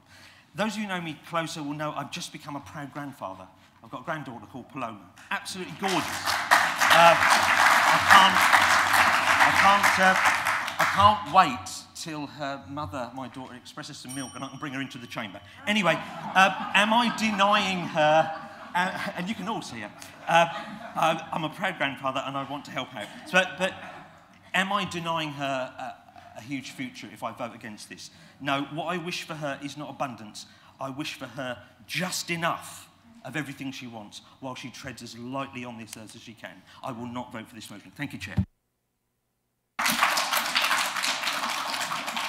Thank you very much, uh, Councillor Stringer. Moving on now to Councillor Hicks. Do you have any further you wish to add? You have five minutes in which to do so. I won't take five minutes, Mr Chairman. Uh, do you know, it's really interesting listening to the debate today and, and hearing the differing views. And do you know, this motion is about actually just a few simple things. And it's, I'm, I'm really surprised we haven't got a unanimous uh, vote on this. So it's about actually having ambition for our county.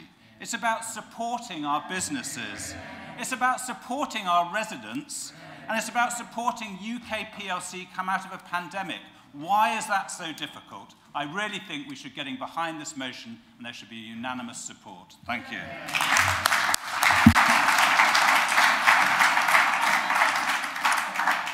Thank you very much, Councillor Hicks. We're now moving to the electronic vote.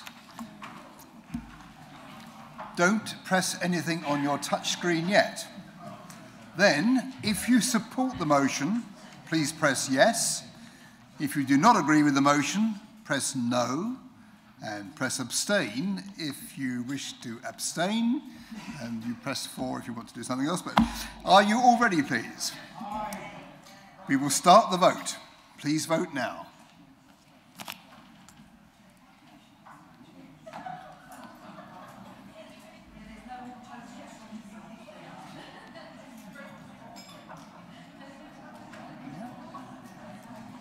Has everyone voted, please? Can everyone see your vote has been cast on their screen? No objections to that? Thank you very much. I'm going to close the vote. And there are the results. We have 43 for. Oh, has this gone? That's better. 47 for, 12, against, uh, 12 against, and no abstentions. And there's 59 of us here, so that's good.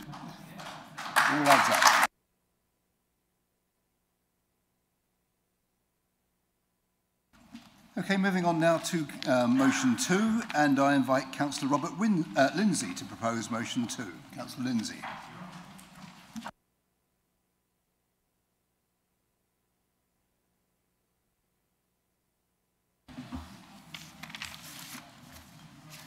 Thank you, Chairman. Um, yeah, I've got a bit of paper in my hand. The Conservative Manifesto. I recognise that. a lovely document it is. Um, uh, and uh, it, it really does make a change for me to be waving it rather than someone on the other side. But um, I just want to refer you to this little bit here. Um, we have identified over £20 million of upgrades to our cycle network. Um, and the government wants you to double cycling and walking. They've said in their gear change document, which came out about a year ago. And as we all know, we've set a target here at Suffolk County Council uh, for getting to carbon zero by 2030. So it's logical, therefore, to push for that doubling that the government wants, and we all want, I hope, of cycling and walking, to be met by 2030. Uh, and use this 20 million that you've identified um, to get there. Um, consultants, Ricardo, have already told the Suffolk Climate Partnership, um, of which we're a part, and um, uh, with, with funding they used from, from the um, leaders group, uh, that a sensible path to zero in transport in Suffolk by 2030 would require car journeys in this county to halve by that date. The only way to do that is to ensure that people have low carbon travel alternatives, like cycling, walking and buses, so that they can leave the car at home. But if we're ever to reach, that's a really ambitious goal, if we're ever to reach it, we have to have smart targets, not just one target for 2030, but actions and measurable outcomes along the way to 2030. Now, I'm, I know we don't have a crystal ball. I'm sure Councillor Smith will tell us um, that we don't have a crystal ball. I know that. We can't tell what government grant will be offered when. But if we don't set annual targets, we will have no incentive to seek, to actively go out, seek to raise that money year by year. And we've got to do that if we're to get there. So please honour the promises you made to voters in this bit of paper. Don't just spell out the costs of cycling investment, but set out a timetable plan to spend the money that you say you've identified. Thank you. Thank you very much, Councillor Stringer. Do you have a seconder, please? Thank you very much. Okay, so I'm going to open the debate. And we have Councillor Harley, we have Councillor Kemp. You wish to speak for the opposition? Right now. Go for it. Thank you, um, Mr Chairman. I'm, I'm grateful to um, Robert for giving us the opportunity to talk about our, um, our excellent manifesto. Uh, reminding us all how, how good it is. As if the number of us here wasn't already reminder, reminder enough. um, and also to talk about um, the excellent work this administration is doing to promote modal shift and, and cycling. Although I, I, do slightly wonder whether he's read his, his own motion. He's talking about a timetable, um, but earlier he was talking about the, the, the, budget. So that's what I'd like to address, address first, finances, budget setting, and the capital programme. As I had said previously, neither the, the budget nor the capital programme um, is set piecemeal with ad hoc decisions in full council meetings.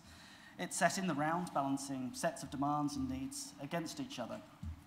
Adding £20 million of borrowing to our capital programme to, to cover the upgrades identified without removing anything else would add over £1 million per year for 30 years to our revenue budget.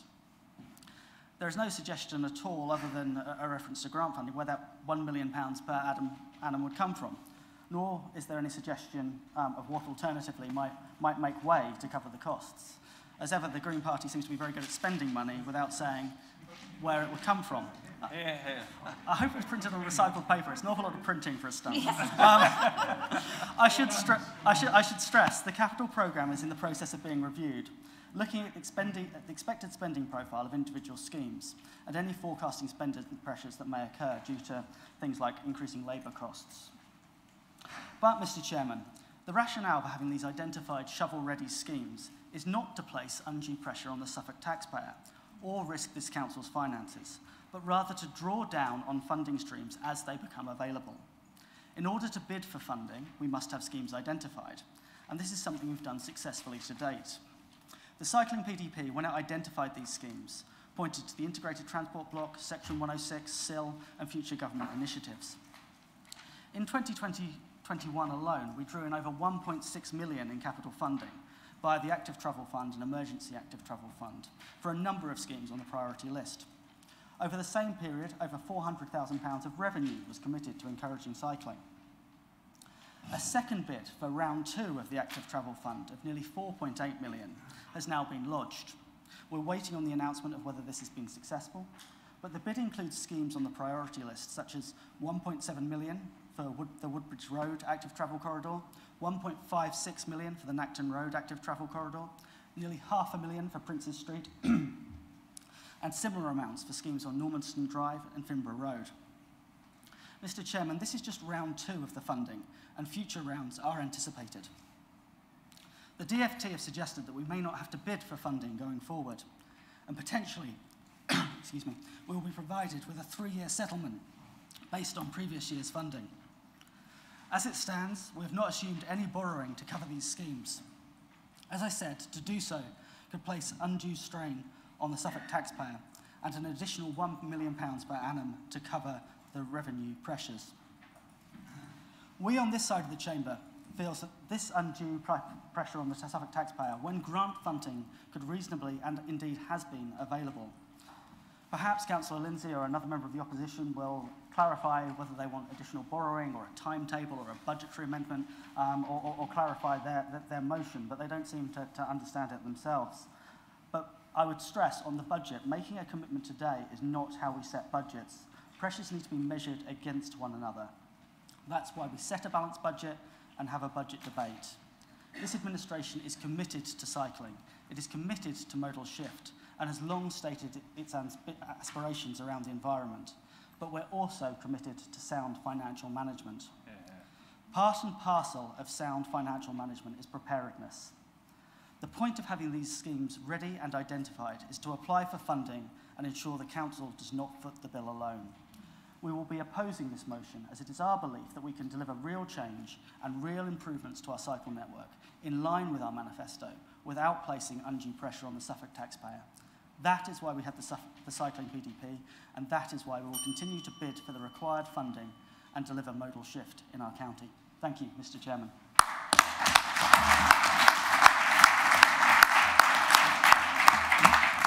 Thank you very much, uh, Councillor Rout, apologies for turning over two pages here and, uh, and not inviting you to, uh, to speak at that point. Um, but we will now open the debate, and Councillor Harley is the first to speak, please. Councillor Harley.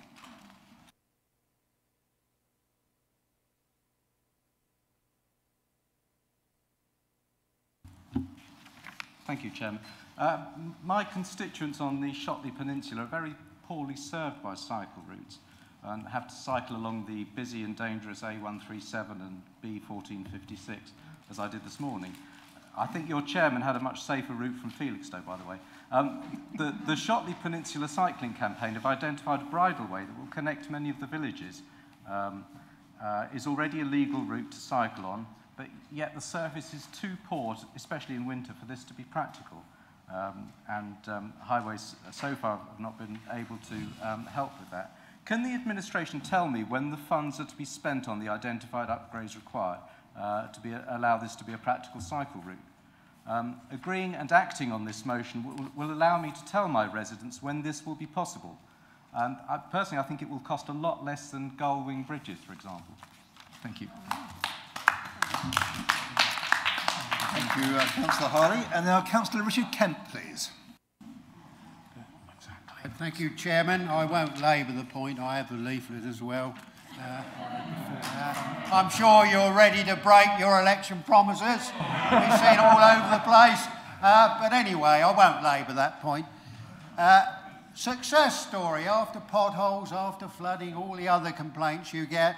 I was pleased to take out the news from you over there that you had identified 137 cycle routes in Suffolk. And indeed, they would be done within the next five years. That was two years ago. So where have they got to, please? Uh, will you identify a programme so I can uh, calm my parishioners down? Because they're expecting these things to happen soon. So I'm not going to comment any further. It's down to you. You are the ones who made the promises. I just translated those promises to my constituents, and they're saying to me, Councillor Kemp, can you ask Suffolk County Council what they're up to with the 137 cycle routes? Thank you very much. Thank you, Councillor Kemp. Next on the list is Councillor Lockington, please.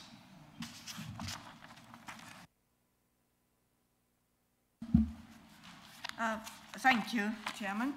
And um, it is right that if you read something that says, we have identified over 20 million of upgrades for our cycle route network.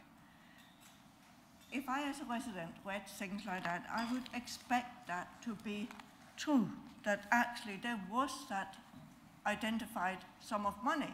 But now we hear that, oh, well, if we get it, you know, we might get some grants or something. If you put in that you already have identified the money, you would actually expect it to be there. Ah, so you didn't say that, no? Well, but I would like to bid for some of that.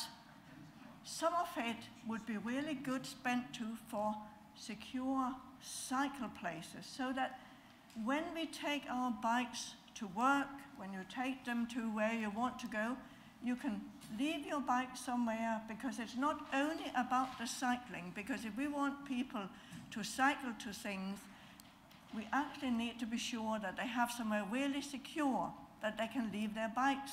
So that must be part of your plan.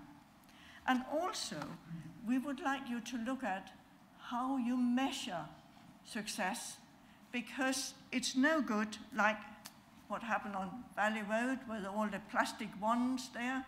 You know, you uh, put the plastic ones out, nobody have a clue how many people used the bikes before or used the bike line before. Then a little bit later, we see the traffic count go up and then the traffic count go away again. It'd be really interesting to know how you measure the success of things because I think that is really important for us that we get people cycling. And also, cycling is very good for us. I'm sure Councillor Hopfesperger will really agree with us that, and other health spokesperson, that cycling is excellent. My elderly mum, when she was alive, she could not walk very well, but she could ride her bicycle. I must admit, in the village when she came, my sister who lived in the same village actually turned round when she saw my mum because she said she's probably quite a danger on, on her bicycle. But it meant that mum could get out and about. We also need to think about our pedestrians and we need to think about our footpaths. There are many things we need to think about to get healthier. And we need to think about good footpaths for disabled people so our people with disabilities can get out in nature the same as you and I can.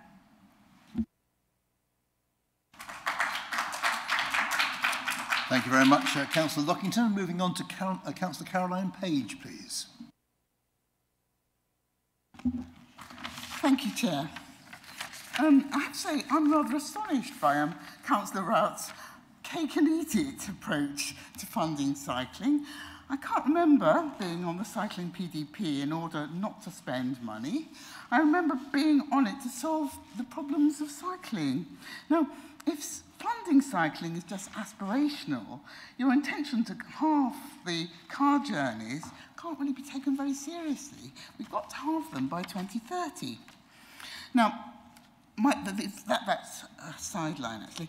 The difficulty of cycling between our market towns exists because there is so little available road space that can be cycled safely, a situation that has remained unchanged for decades. Off-road options with bridleways exist cross-country, and there are many areas of hidden, overgrown routes beside the A12. We need money. It's clear many rural cyclists will be enabled to travel between market towns with effective support and smart targets. And these smart targets are needed to achieve this as soon as possible. We can't wait for money to appear from somewhere, possibly, yeah? Action now is needed to ensure we meet our 2030 target for halving car journeys. Thank you. Thank you very much, uh, Councillor Page. I've only got one more, oh, I've got two more speakers now because I've got Councillor Welham, but I've also got Caroline, Councillor Caroline Topping. Uh, any more speakers? Councillor Bird wishes to speak as well. And uh, then we will come to the, to the um, seconder and the winding up. So Councillor Caroline Topping is next. Thank you, Chair. I wasn't intending to speak, but having heard everybody else speak, I thought I would just make my maiden speech as well. I've been driving since I was 18 years old. I'm now 54. I know can't believe it, but I am. Um, I decided five years ago to give up my car, so I haven't actually owned a car for the last five years. that was before I actually joined the Green Party, I might add. Um, I now do all my council um, meetings on public transport or by cycle. So I arrived here today by train from Beccles. Um, we had a bit of an incident a few weeks ago when, as an East Suffolk councillor, we had our meeting at High Lodge in Darsham. I had to make a decision. There was three options. Three councillors from Beccles had to get to High Lodge at Darsham.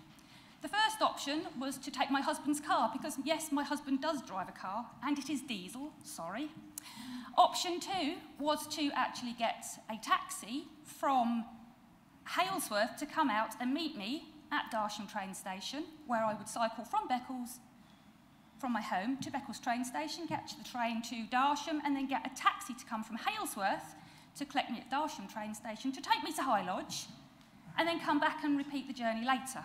That would have actually incurred two miles more than me actually taking my husband's car and driving myself and two colleagues from Beccles to Darsham. Or we actually, which we, uh, what we actually did was we cycled to the train station, took three bikes on the train from Beccles to Darsham. Unfortunately, the train was too long and we had to carry the cycles down a carriage because the um, train was too long to actually open the doors at Darsham, but that's another story. Where I was reliably informed there was a cycle path and a footpath, which I think is in Councillor Smith's ward, thank you, to get me from Darsham train station safely, because I was terrified of the A12, cycling on the A12, to High Lodge for my council meeting. So this is what we chose to do.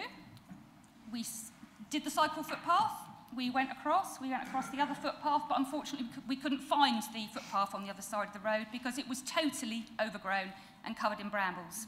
We were actually all in skirts at the time because we were going for a photo opportunity at High Lodge and we literally got torn to shreds by the brambles and the nettles. So the moral of the story is we need to spend money on maintaining the cycle paths. I have got to say, I did, when we got to High Lodge, go onto my Suffolk County Council reporting tool and actually reported to our um, wonderful uh, members of staff that there wasn't an issue. And two weeks later, when I was actually transferring that, going along that road in a car, but I wasn't driving, um, I had noticed it had been cut but has not been cut back far enough. So we do need to spend some money on these cycle paths. We do need people to think about leaving their cars behind, cycling and using public transport. Thank you.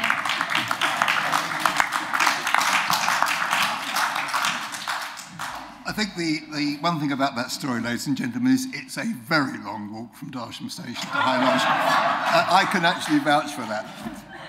Good. Right, moving on. Councillor Welham, please.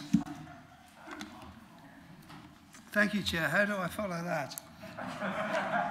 Um, having, listened to speakers on the other side, I'm now uncertain whether or not the administration has committed or will commit any part of the 20 million to be funded from the county's capital programme.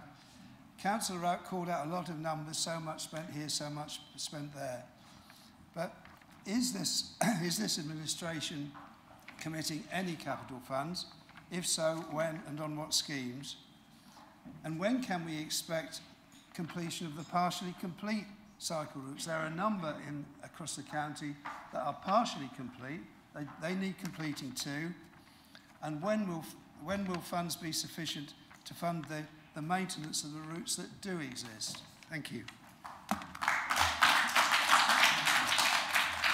Thank you very much, uh, Councillor Welham. And then Councillor Stuart Bird, please. Yes, thank you, Mr Chairman. I'll be as brief as I can. This, this motion talks about um, cycling and walking. I, I'm, I'm a keen walker myself. I enjoy walking. I, I particularly enjoyed walking earlier this year in April and May. I walked down 225 fine roads, streets and, and lanes in my fine division. It was an enjoyable experience because I was delivering leaflets for my election campaign, standing under the, under the Conservative manifesto mentioned by the party opposite. I would just say to the, the Greens and the Lib Dems, they could have enjoyed the same experience delivering leaflets in my fine division, but you didn't bother fielding a candidate in my division, did you? Um, you, you, you asked the people of Suffolk to have faith in you when you don't seem to even have enough faith in yourselves to field a candidate in my division. Thank you.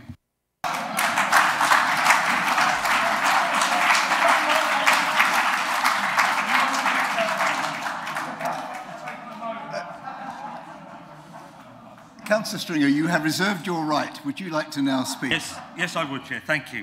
Settle down now. I just want to put on the record that, I, not to make the House too uh, rebellious, I, I, just want to put on record I've never cycled through brambles while wearing a dress. Uh, so we can put that one to bed.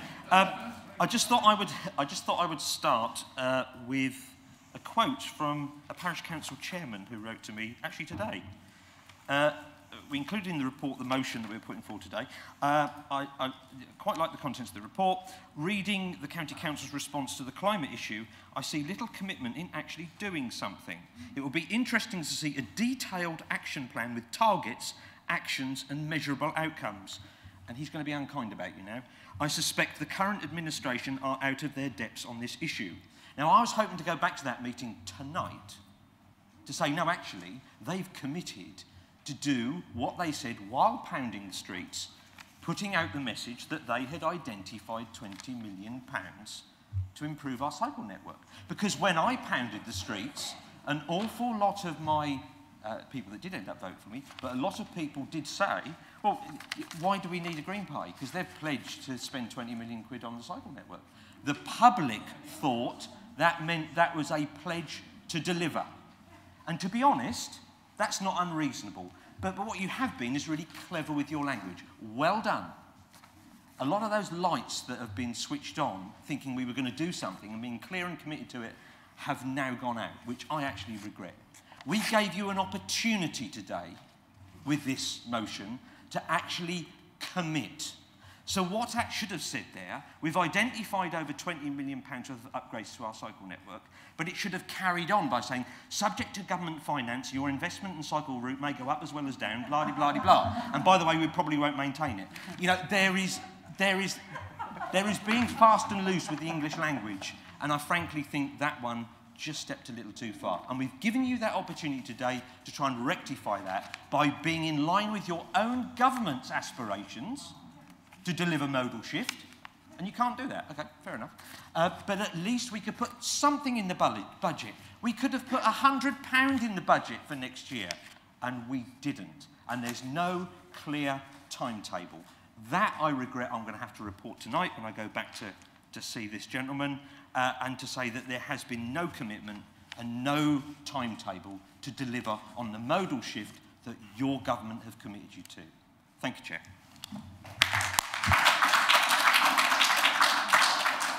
Councillor do you want do you want to speak, Councillor Murray? Because um, we pretty well closed the debate there. But if there is an important point uh, to add, please go.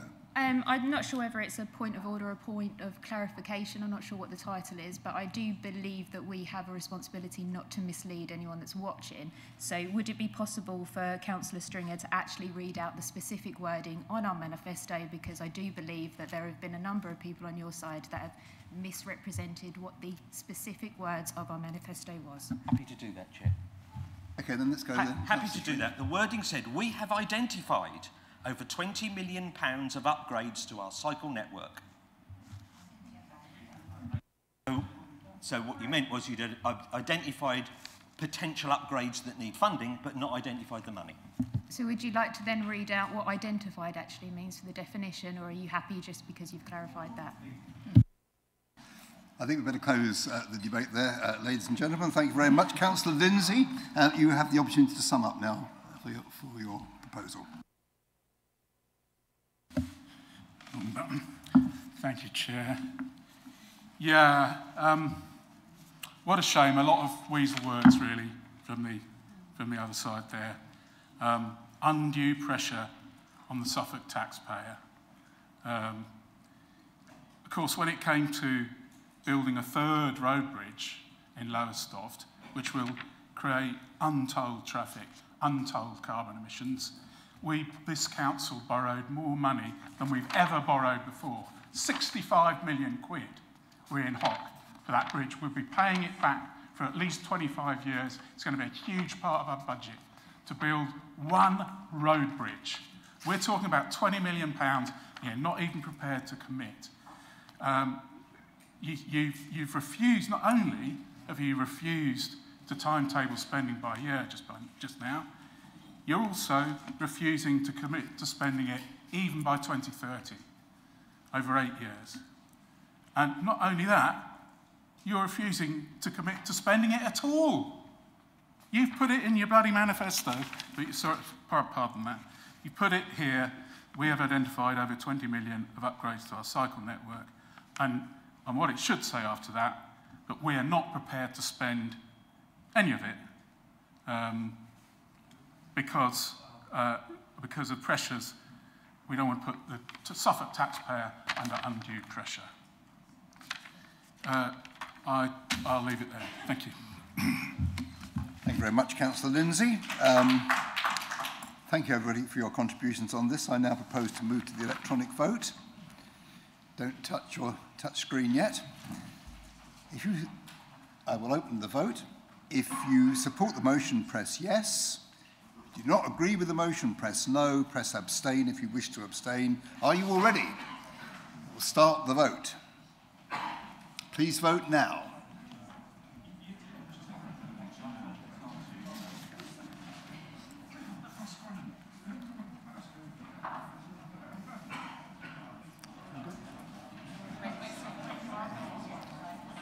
Has everybody voted?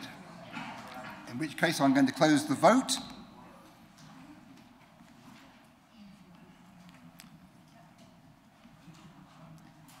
And there is the outcome there. 17 for the proposal, 42 against it, so I'm afraid to say that motion is lost. Now, ladies and gentlemen, it's now four o'clock. Um, we have at least one hour's business to do now, because uh, we, we need to take the, the health and safety report and then we have questions to cabinet members. Um, would you like to take a break at this point, or do you wish to soldier on? We have a 10 minute break then. Thank you very much.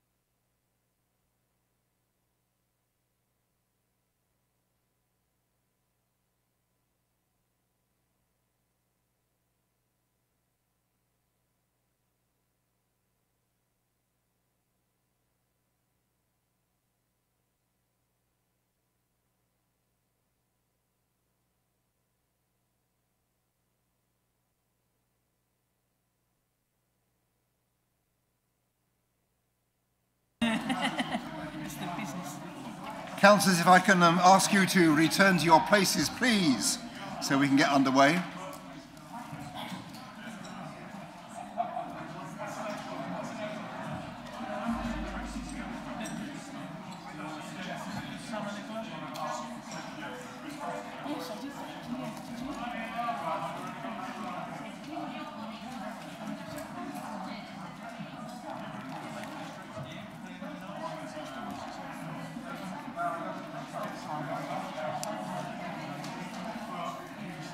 Councillors, can we now move on to agenda item 8, please, which is a report by the Executive Director of Corporate Services and the Deputy Chief Executive. I call on Councillor Reid to move the recommendation. Councillor Reid. Uh, thank you. I, I would quite like to wait for my seconder, if that was okay. Um, Sorry, I was delayed by cake. Oh, are you seconding? no, no. Your seconder is in the chamber, um, Councillor Reid, just not seated yet. Um, Councillor Spicer? Councillor Spicer? No. Can somebody come from the floor?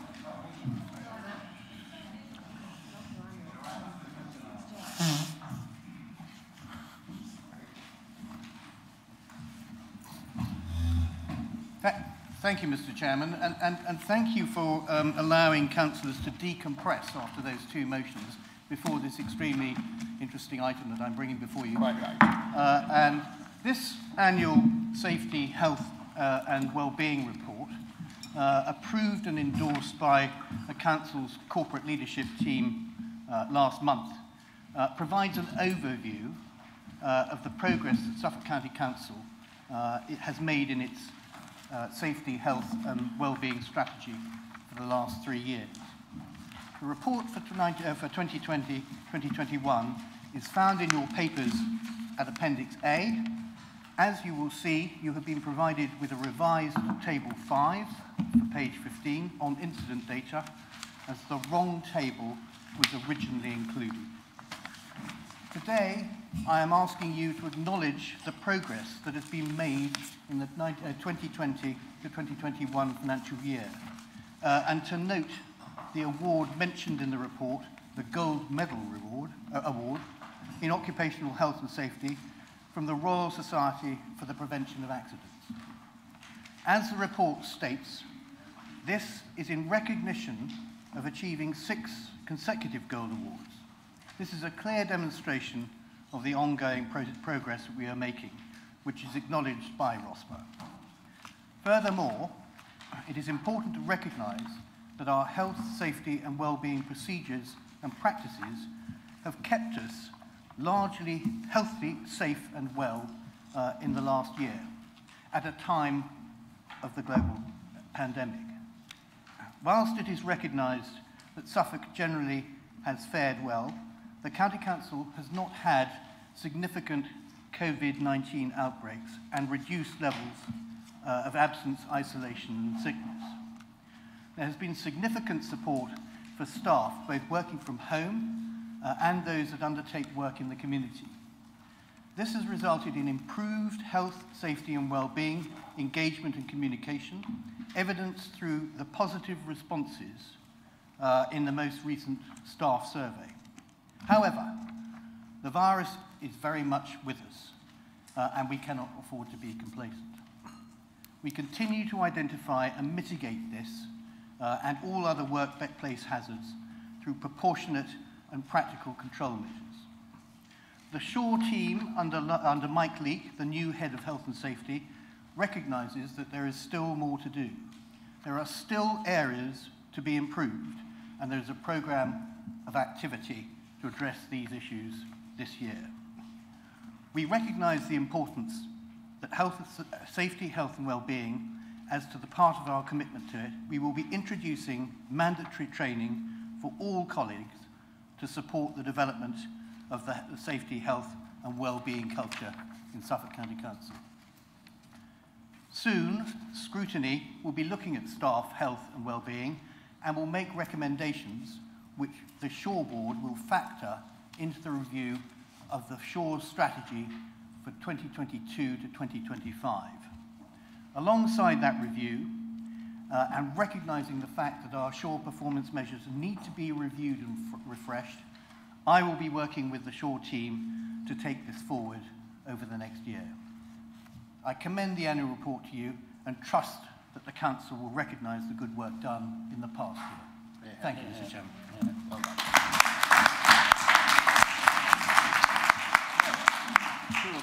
Thank you very much, Councillor Reid. Do you have a seconder, please?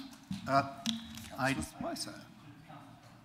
Thank you very much. Councillor Spicer, do you wish uh, to speak now? Chairman, thank you very much. I would like to second this and I would reserve my right to speak, if I may. Thank you very much. Councillor Simon Harley, your spokesman for the opposition.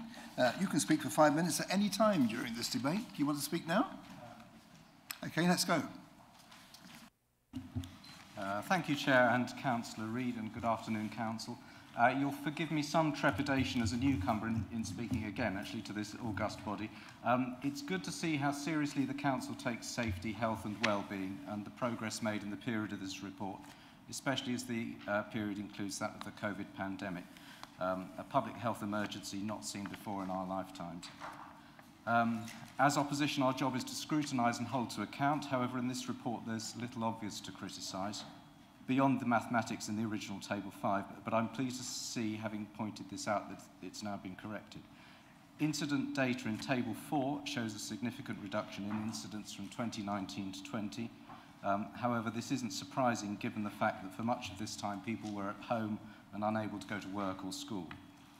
I note that in uh, Table 3, absence data, uh, the number of days lost to work is down from the previous year, um, although the number of sickness incidents is actually increased, um, which appears to be as a result of increase in staff absence due to mental health issues, which again one can speculate is likely to be as a result of the pressures resulting from the pandemic. Um, this underlines the importance of support of people's mental health, which I know that the Council takes very seriously. Uh, I'm pleased to see that further work is being undertaken to support mental health through awareness sessions and embedding this into management practice. I'm pleased to see also that the Council uh, takes very seriously the environmental impact of travel and taking into consideration the new ways of working uh, will create opportunities to significantly reduce the need for travel when undertaking such training events. Personally speaking, I found the recent induction program over Teams uh, was easy to access and fulfilled many of my learning needs without needing to travel, and I know this has been beneficial for many of my colleagues too. I attended the health and safety training induction module and found this most informative, um, pertinent and surprisingly enjoyable, and I would encourage those 26 councillors who have not yet attended to join a catch-up session that I believe is being organised soon as we discussed in the last uh, Councillor Development Group meeting this week. You know who you are. I, know, I, I note that e-learning modules for managers on the corporate indicators on Table 1 shows low performance, and I trust that uh, progress will be made in this indicator by, ne by next year.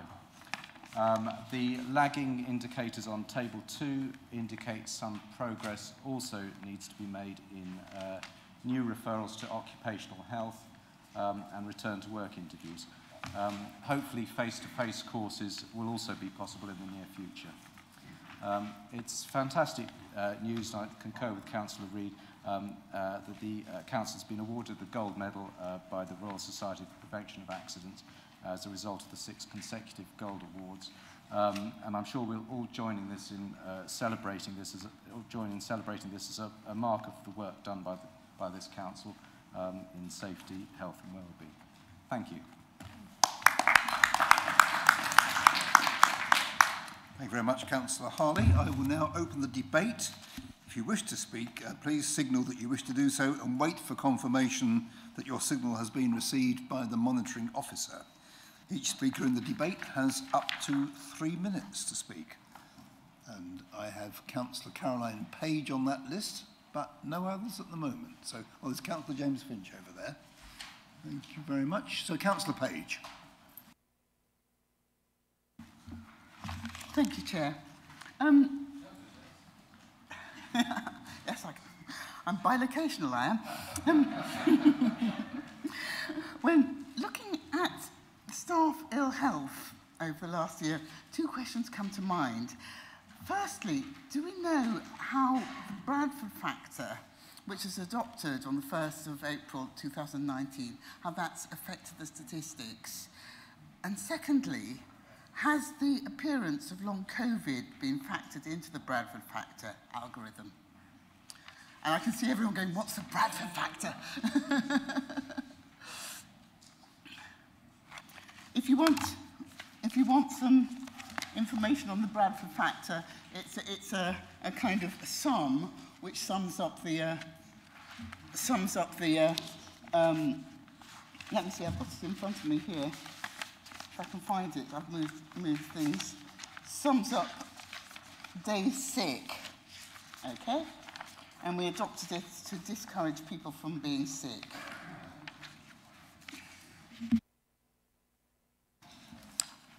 Okay, you done, Councillor Page?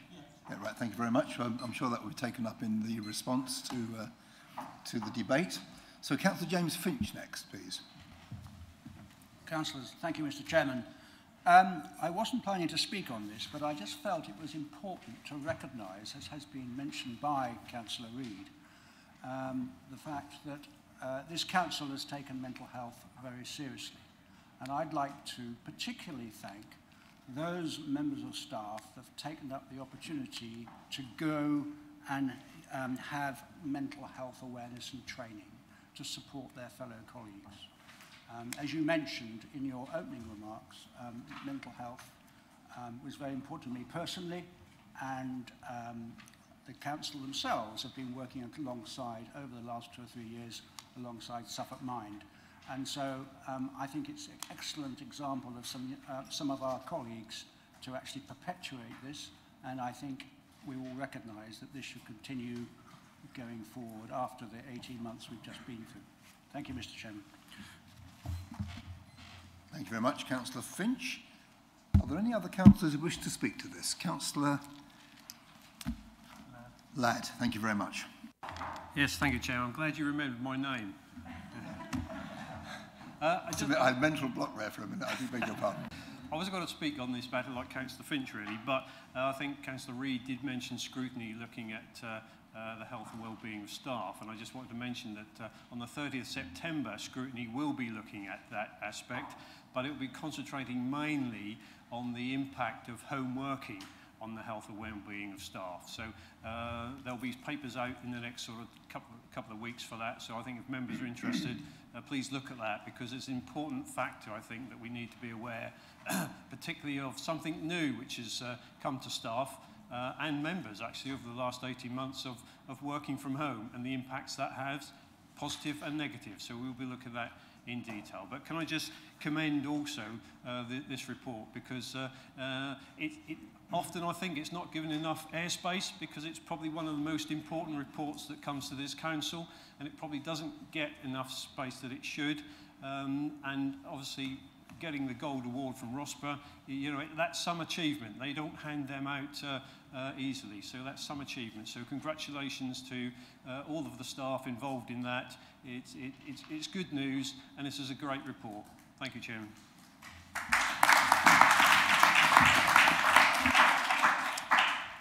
I don't think there are any other councillors wanting to speak, so I'm going to call on Councillor Joanna Spicer now to second the proposal. Thank you, Chairman. I have to say, if you told someone you were going to be making a speech on health and safety to full council, they would either direct you to a book full of jokes about health and safety, or they'd tell you about how they got held up in some tiresome roadworks with barriers just because one pothole was being filled. So I was pretty pleased to look at this, and it's not even called health and safety anymore. It's called safety, health, and well-being. And what I'm pleased talking to people, reading the report and listening today, and thank you um, all who've spoken, to notice that emphasis on well-being, um, both of our staff and the services from the services we provide. Um, and just to follow on, uh, thank you, Councillor Harley, with your second maiden second speech today, um, for giving a plug for health and safety um, training for members. It's actually the 27th of October. So do put that in your diaries because it is, it, it's very important. Uh, like Councillor Reid and others, I would want to add my praise and thanks to the staff of this organisation led by our Chief Executive for how they've responded um, to the challenges to health, safety and well-being from the COVID pandemic, um, and particularly um, picking out those staff working from home, staff in schools, the advice and support we were able to give to care homes and, uh, and those uh, working for us, providing care. Um, so important. Now, what is uh, good in terms of the next steps is that scrutiny is already starting the process of looking at this, which I think is excellent. Um, I, I was um, read very carefully the priorities for the look going forward, which are on page 18 of the report, page 38. Um, and one of those that um, is listed there is about support from working from home. So I would urge the scrutiny committee when they look at it, not just to look at what we've done, but to come up with some both suggestions and support for action plan to take forward the work um, that's outlined in here. Um, so with those few comments, and again, um, Uh, well done to all concerned. Uh, welcome to our new Head of Health and Safety. I expect he's watching somewhere. Um, and to assure him of the support from this Council for all matters relating to safety, health and well-being. And with that, Chairman, um, I would second this report and ask members to, I hope, unanimously support it. Thank you.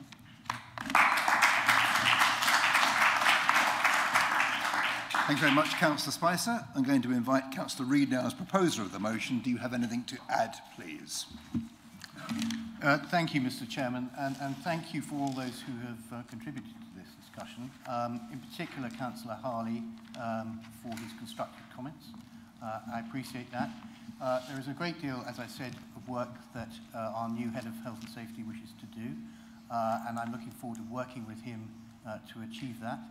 Uh, to Councillor uh, Page's point in introducing a question around the use of the Bad Bradford factor as a, a form of measure for absenteeism, I understand that that is going to be considered by scrutiny, uh, and we will of course consider that as being an, another measure that may be employed. Uh, but thank you all, and I commend this, uh, this report uh, to, the, to the Council. Thank you.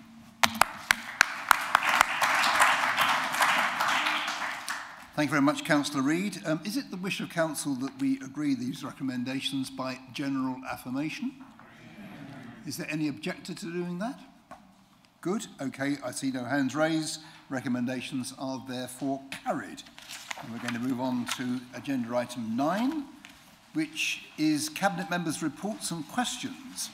Please remember that each councillor can only ask one main question and one supplementary. Uh, time limit for responses to questions is two minutes. Four questions allowed in advance have been received from councillors. And the first question, I think, was originated by Councillor Otton, but who's not here today, so Councillor Page is going to uh, write, write, uh, read the question. Councillor Page. You're getting quite a lot of me today, aren't you? Um, so I think this is possibly, it's questions the Leader of Council or relevant Cabinet member is what it says. It might be for uh, Councillor Reid, yeah. The menopause is a natu natural state of life, but can lead to long-term changes in physical and emotional health for all women. It's rarely discussed. What support does the Council and its partners have in place to help and advise? Councillor Reid, please. Well, um, Thank you, Mr Chairman, and thank you, Councillor Page, for asking the, the question on behalf of Councillor Otton. Uh, the needs of women in Suffolk experiencing the menopause has already been identified as a priority by the County Council, NHS, Public Health Services, uh, through listening to the voices of residents, practitioners, locally and nationally. At a national level, Public Health England will be publishing later this year a Women's Reproductive Health Programme. This programme will include specific actions related to the menopause, a key element of which is equitable access to support and treatment, regardless of sexual orientation and trans status. Initiatives to support women going through the menopause are broad and range from peer and facilitated support groups, such as menopause cafes, through to clinical services for those experiencing distressing symptoms. Action has and is being taken to improve the experience of those going through the menopause. In particular, Public Health Suffolk is playing an active role in driving forward, service improvement in relation to the menopause. This is an integral focus within the Sexual and Reproductive Health Transform Transformation Programme, which is a collaborative effort uh, with provider services, CCGs, NHS England, public, and Public Health England, and of course the voluntary sector and service users. The transformation programme is underpinned by co-production with public and service users, with an engagement campaign currently in progress seeking views on women's health, including on the menopause. More widely, Suffolk County Council have been an early adopter of the cafes uh, and have run several uh, successful meetings via the Women's Network. Further, the County Council has developed specific uh, guidance for the workplace uh, and is, there is reference to this in the absence policy with regards to considerations around menopause. Thank you, Mr Chairman. Thank you very much, Councillor Reid. Now, in this kind of situation, there is no, um, no chance for a follow-up question there, so I'm going to move on to the second question, which is from Councillor Rob Bridgeman to Councillor Paul West. Councillor Bridgeman, please. Can the Cabinet member for operational highways tell me what arrangements are in place for letting councillors know when road, footway maintenance and resurfacing is scheduled to take to be taken in the divisions and whether he thinks they are accurate? Or adequate, I should say. Councillor West, please. Yeah, thank you, uh, Mr Chairman. Thank you, Councillor Bridgeman, for the question. Um, Suffolk Highways aims to keep county councillors updated on all forward capital programmes of work that affect their division, such as resurfacing and footway works. This is done in a number of ways, depending on the type of work and whether a road closure is required. Um, these include uh, direct communication with county councillors, uh, usually around two weeks prior to the work starting, or in some cases, uh, forward programmes will be added to the various highway pages within the Suffolk County Council website, such as uh, weed treatment and grass cutting, uh, then communicated to county councillors. I'll happily um, forward those web links to um, councillors after the meeting, so they're shared with everybody. Um, on the general gist of the question, though, I do believe that more can be done, particularly in relation to keeping the web pages current and up to date, and in relation to providing actual start dates and information when plans change. Often, uh, and I include myself in this, uh, councillors might be aware that a, a particular item within the capital programme is, is programmed within the next financial year or the financial year the year after, but not necessarily um, kept up to date when the actual schedule is finalised, which often is at short notice because of changing plans, as I've said.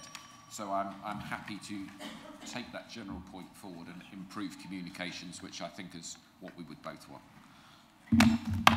Thank you very much, Councillor West. Uh, do you have a supplementary, Councillor Bridgeman? Um, I would simply just ask that you do bear that in mind for improvements. Um, I should start, as I mean to go on really, I'm a fairly positive character and uh, uh, Mr West there, he helped me out no end. I didn't get the information, none of it happened like it should happen, but I did receive all the information within 24 hours, which was brilliant. Um, he's a friendly man. And we, we, we don't want him getting old and worked out by doing Keir's work for him. I'm Councillor sure you are a friendly man too, but I need a question. Uh, will you keep an eye on it to make sure that it does improve if it starts to go wrong or go further? Councillor West. Yes, well, I think we're in the part of the, the, the sort of meeting when sort of uh, generosity and goodwill yeah. breaks out.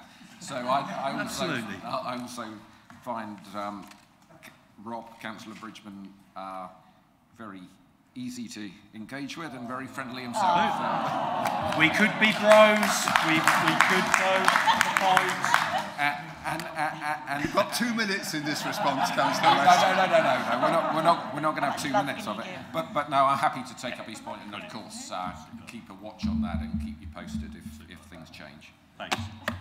Thank you very much, uh, Councillor West. We're moving on now to Councillor Lockington, please, who has a question for Councillor Hopfesperger.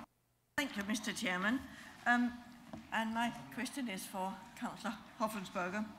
Given that social, uh, Suffolk County Council said during the budget scrutiny that customers' fees and charges income is due to fall short of the budget with 0.5 million. But again, this is expected when a significant number of customers are part of the NHS recharge and do not currently make contribution to their care. Could the portfolio holder for adult care inform us if Suffolk County Council is planning to, or already have done, increase the cost to customers for their care and with how much, and also explain how the recharging of the NHS is going for our residents who need care. Thank you, Councillor Lockington. A couple of questions in there, actually, I think, but still, never mind. Councillor Hopfesperger. Thank you, Mr Chairman, and thank you, Councillor Lockington, for your question.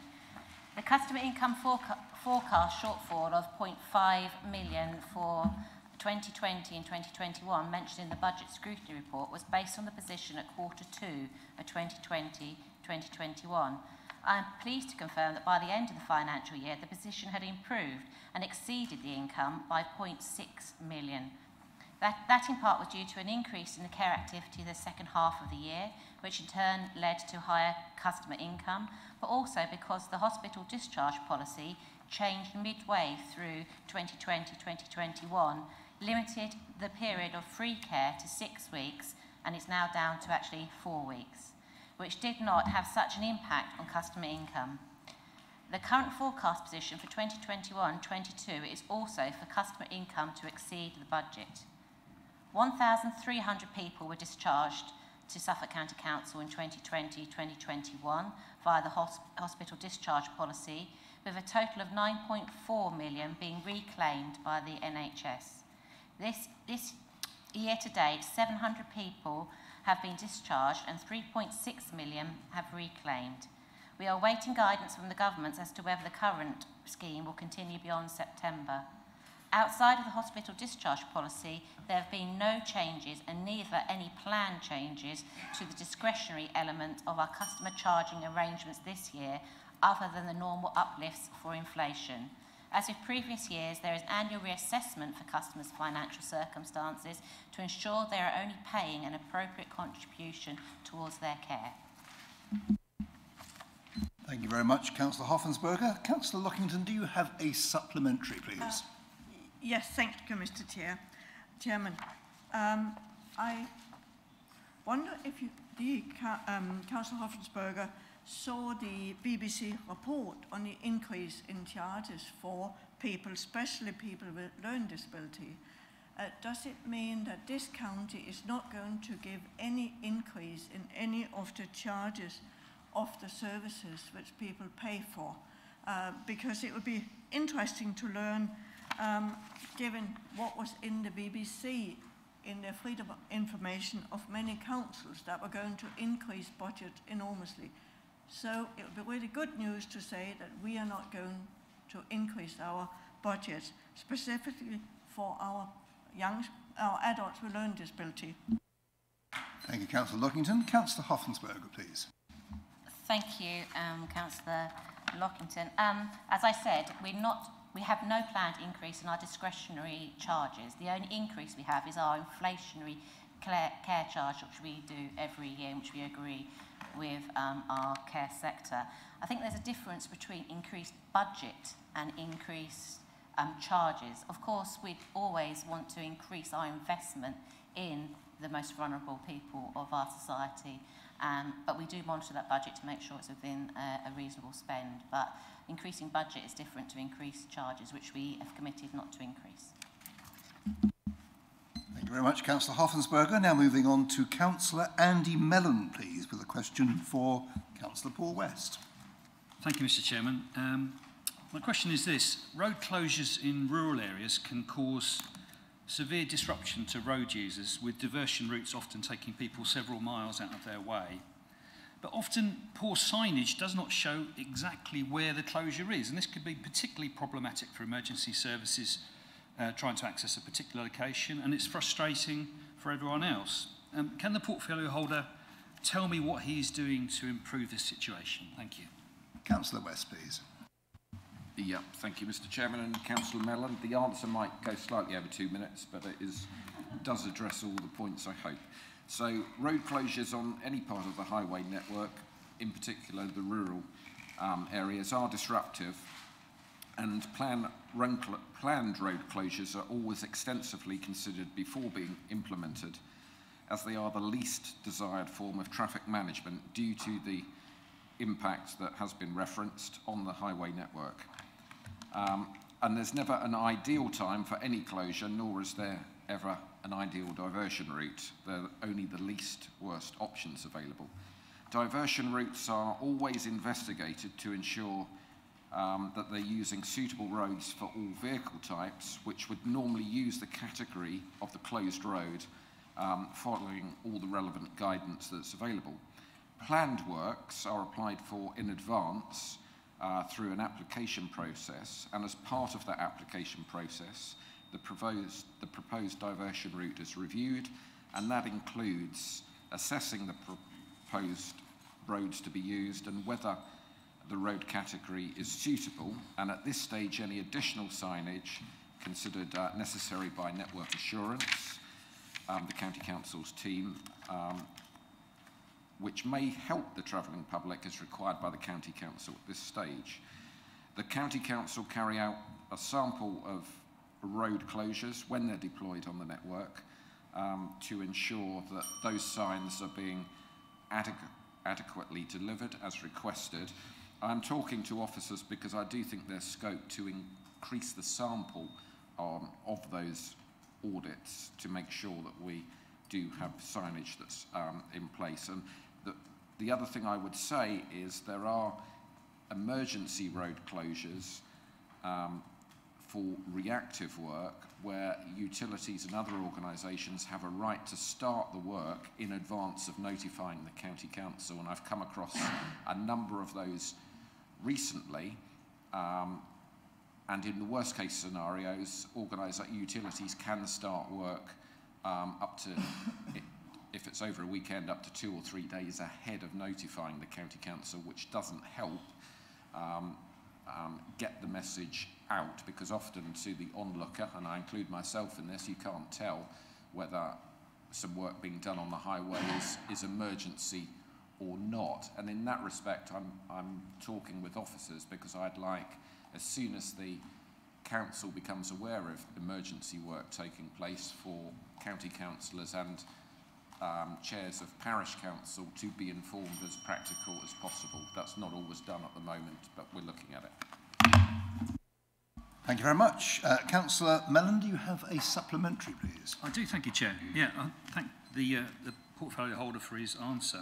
Um, people in my division have been frustrated recently by full road closures which, which they think could have been accommodated with a partial closure and traffic lights. But what really gets their goat, and I'm sure other members have experienced emails on this issue, is when a repair has been done, the road is open, and yet the road closed signs are left up for a day or two longer.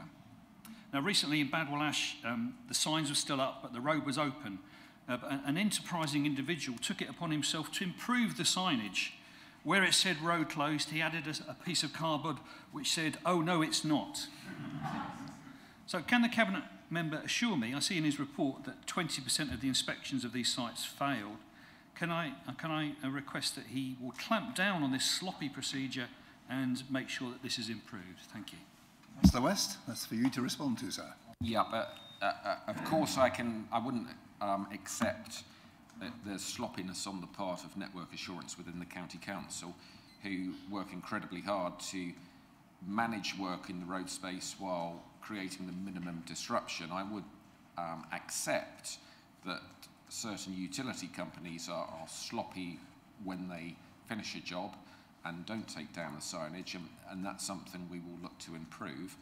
To put the matter into context, and I didn't realise these numbers until a couple of months ago, every year, on average, or in the last year, um, Network Assurance, on behalf of the County Council, received 65,000 65,000 applications for work in the highway from utility companies, from Suffolk Highways, from developers. That's over 200 a day. And so keeping on top of every single partial road closure is um, easier said than done. That's not to say I, I disagree with you. I think more can be done, but that just puts in context what the team within the County Council uh, are dealing with. But I'll happily keep you updated as we make progress to improve communication and reduce the sloppiness of utility companies, not the County Council. Thank you very much indeed, Councillor West. I'm now going to move on to questions from the floor. Uh, please raise your hand if you have a question. I will call as many people in 30 minutes as is possible. Um, that will take us around about quarter past five. So um, please register your hand with the monitoring officer. And the first on the list is Councillor Lindsay, please. Thank you. um, my question, so I like to ask in advance if I can, but um, time and, and so on, um, and this only re really was raised with me recently, but um, my question is for Councillor Smith um, regarding the housing development plans in Mildenhall and Lowestoft. Can you guarantee that the new houses that you want to build at Mildenhall and Lowestoft uh, will not be heated by fossil fuel? Thanks. Councillor Smith. We are, Chairman, some way away from final decisions about houses to be built on our land in Mildenhall and in Corton near Lowestoft. I listen to what Councillor Lindsay says, and I can't give a definite answer because I don't think the decisions have yet been made. We haven't even got planning permission. We're not even on outline planning permission yet there. But I understand why he makes those points, and when I have discussions with officers, I will include his views. Thank you very much, Councillor Smith. Do you have a supplementary, Councillor Lindsay? Um, yes, I do. Thank you, Chair. Um, yeah, I mean, does, none of that precludes you from, from making it a policy of the council beforehand. So my, my follow-up question is, is the real reason that you can't make that guarantee connected to the fact that you were the only councillor to vote against the climate emergency two years ago? You're absolutely right. And I, I'm not ashamed of that. I am not a Green, I am a Conservative. I'm not going to give the guarantee that you request. Right. I see no other hands for questions to Cabinet members. Oh, Councillor Bryce. Thank you, Chairman. Just a brief question to Councillor West, if I may. Um, would Councillor West agree with, with me that in reviewing the communications within his portfolio area, that the dedicated Councillor Highways team do an exemplary job in supporting us all with highways queries across our divisions? Councillor West. I think I know what the answer is going to be, but let's... Yes. Um, no, I, I, I, I do agree, and they do an incredible job turning around sort of many, many dozens of um, questions a week, a lot of which are thunder through from my email address, but, but also um, others. And they're, they're, I mean, it's not appropriate to name um, staff, but I think they all work incredibly hard, and uh, we owe them sort of thanks for keeping on top of all our, our queries. Councillor Bryce, do you have a supplementary? No, thank you. Okay, thank you very much. Councillor Topping has a hand raised. Thank you, Chair. I'm sure you'll put me right if I've got this wrong, as it's my first council meeting. We are asking questions on item agenda 9A. Yes? No, I'm I'm not, not sure, quite sure if that's correct, is uh, the portfolio holder um, for the Kickstart scheme. Sorry, is that you? Sorry. Sorry, Leader. Um, okay, on page 48, um, I've just got a question regards the, um, the first council Kickstart trainees started their placement. I'm going to read the report. During April, May and June, with 11 in place by the end of June. So my question is, do we know how many we've got in place now, please? That's the Hicks. I don't have that figure here. Sorry, I don't have that figure here today, but I can get it to you. But it has been a challenge during the COVID pandemic to actually get people who want to come forward for the Kickstart programme. So it has been a slower start than I think anyone would have liked. Uh, it's a national issue, but um, we are absolutely clear that we want to raise the numbers as quickly as we can, particularly as an authority. Oops, do you have a supplementary, Councillor? Thank you, yes, and I'm just going to carry on because it says that we are funding up to 75 placements. So my supplementary would be, how are we going to, to engage with these, please, to try and fulfil those 75 places? Thank you. Yeah, we engage, we engage, we have a, the team goes out and engages with schools, colleges. We're always doing what we can to increase the numbers when people leave. Um, it is a battle at the moment, as I said, with the pandemic to actually get people to have the enthusiasm to come forward, but the team is out there. We have a target. We want to get to the numbers and we'll do everything we can to get there. Councillor Welham, please. Thank you, Chair. Um, a question of Councillor West, I think. Um, as Councillor Hudson said, the, uh, the administration is committed 100% to making Suffolk the greenest county. Judging by the applause that broke out, I assume that the, the commitment still stands, or is this an unfunded commitment?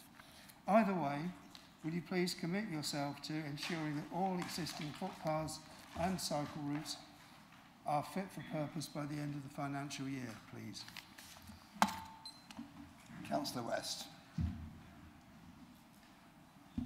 Uh, yep, sure. I'm, I'm happy to commit to sort of renewing our um, pledge to keep all the footpaths and cycle routes in line with our highways maintenance operational plan, which is agreed um, every year, can be viewed on on the website. If Councillor Welham has any particular um, footpath or cycleway that he wishes me to comment on, happy to receive that after the meeting and email you accordingly. Councillor Welham, do you have a supplementary? Thank you, Chair. So this, this means that it is down to local members to highlight where the problems are. For instance, there is a cycle route between, say, Stowmarket and Needham Market, which I assume should be more than 18 inches wide.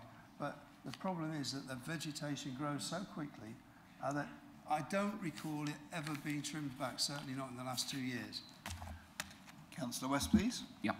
Uh, no, no, um, you shouldn't take it that my answer was that it's down to the division councillor solely to um, keep the council up to date on the condition of footpaths and, and roads and the highway network. Obviously, we have inspectors that go round. The county councillor in the division can play a part towards that because obviously um, we're all the people on the ground in our own division. So the example and the specific that you've just given me, happy to take that way and ask officers to comment subsequently to you. Thank you very much indeed. Now, I really do see no... Oh, Councillor Soons, please. Thank you. Um, I'm not sure if my question is, is to our leader, Matthew Hicks. Um, the ethnicity pay gap report, which I was really pleased to see, because I was born, sorry, I'm wearing my mask still. Um, I was um, born into a mixed race South Asian family um, and grew up on a diet of curry, which I adore to this day. Um, and I see that this is the first ethnicity pay report that's being completed and the Council's employee with clear analysis and a supporting action plan has now been widely shared and well received. And I sit on the, on the committee that received that report. Are we the first council to have this report compiled? Um, I, I thought we might be. I understand that, that um, district councils haven't yet commissioned a report like this, and if we are, congratulations. Councillor Hicks, please. I'm not, I, th I think, and I'll double check, that it's a requirement. This is a requirement, so I think most councils will be bringing it forward. Whether we were the first to get it out, I don't know, but I'll find out. Thank you. Thank you, Councillor Hicks. Do you have a supplementary, Councillor Soons? No? Okay then. Right, ladies and gentlemen, that concludes the business for today's meeting. Uh, councillors, please, can you take all your belongings, paperwork and any rubbish with you? Place your microphone smart card in the collection box by the meeting room exit and return your nameplate to the table outside the meeting room from whence you collected it. Please leave the building promptly and observe social distancing guidelines whilst in the building. Please follow any guidance regarding which desks are designated for work purposes. Finally, remember to check your pigeonhole before you leave today and thank you for your participation and I wish you a safe journey home.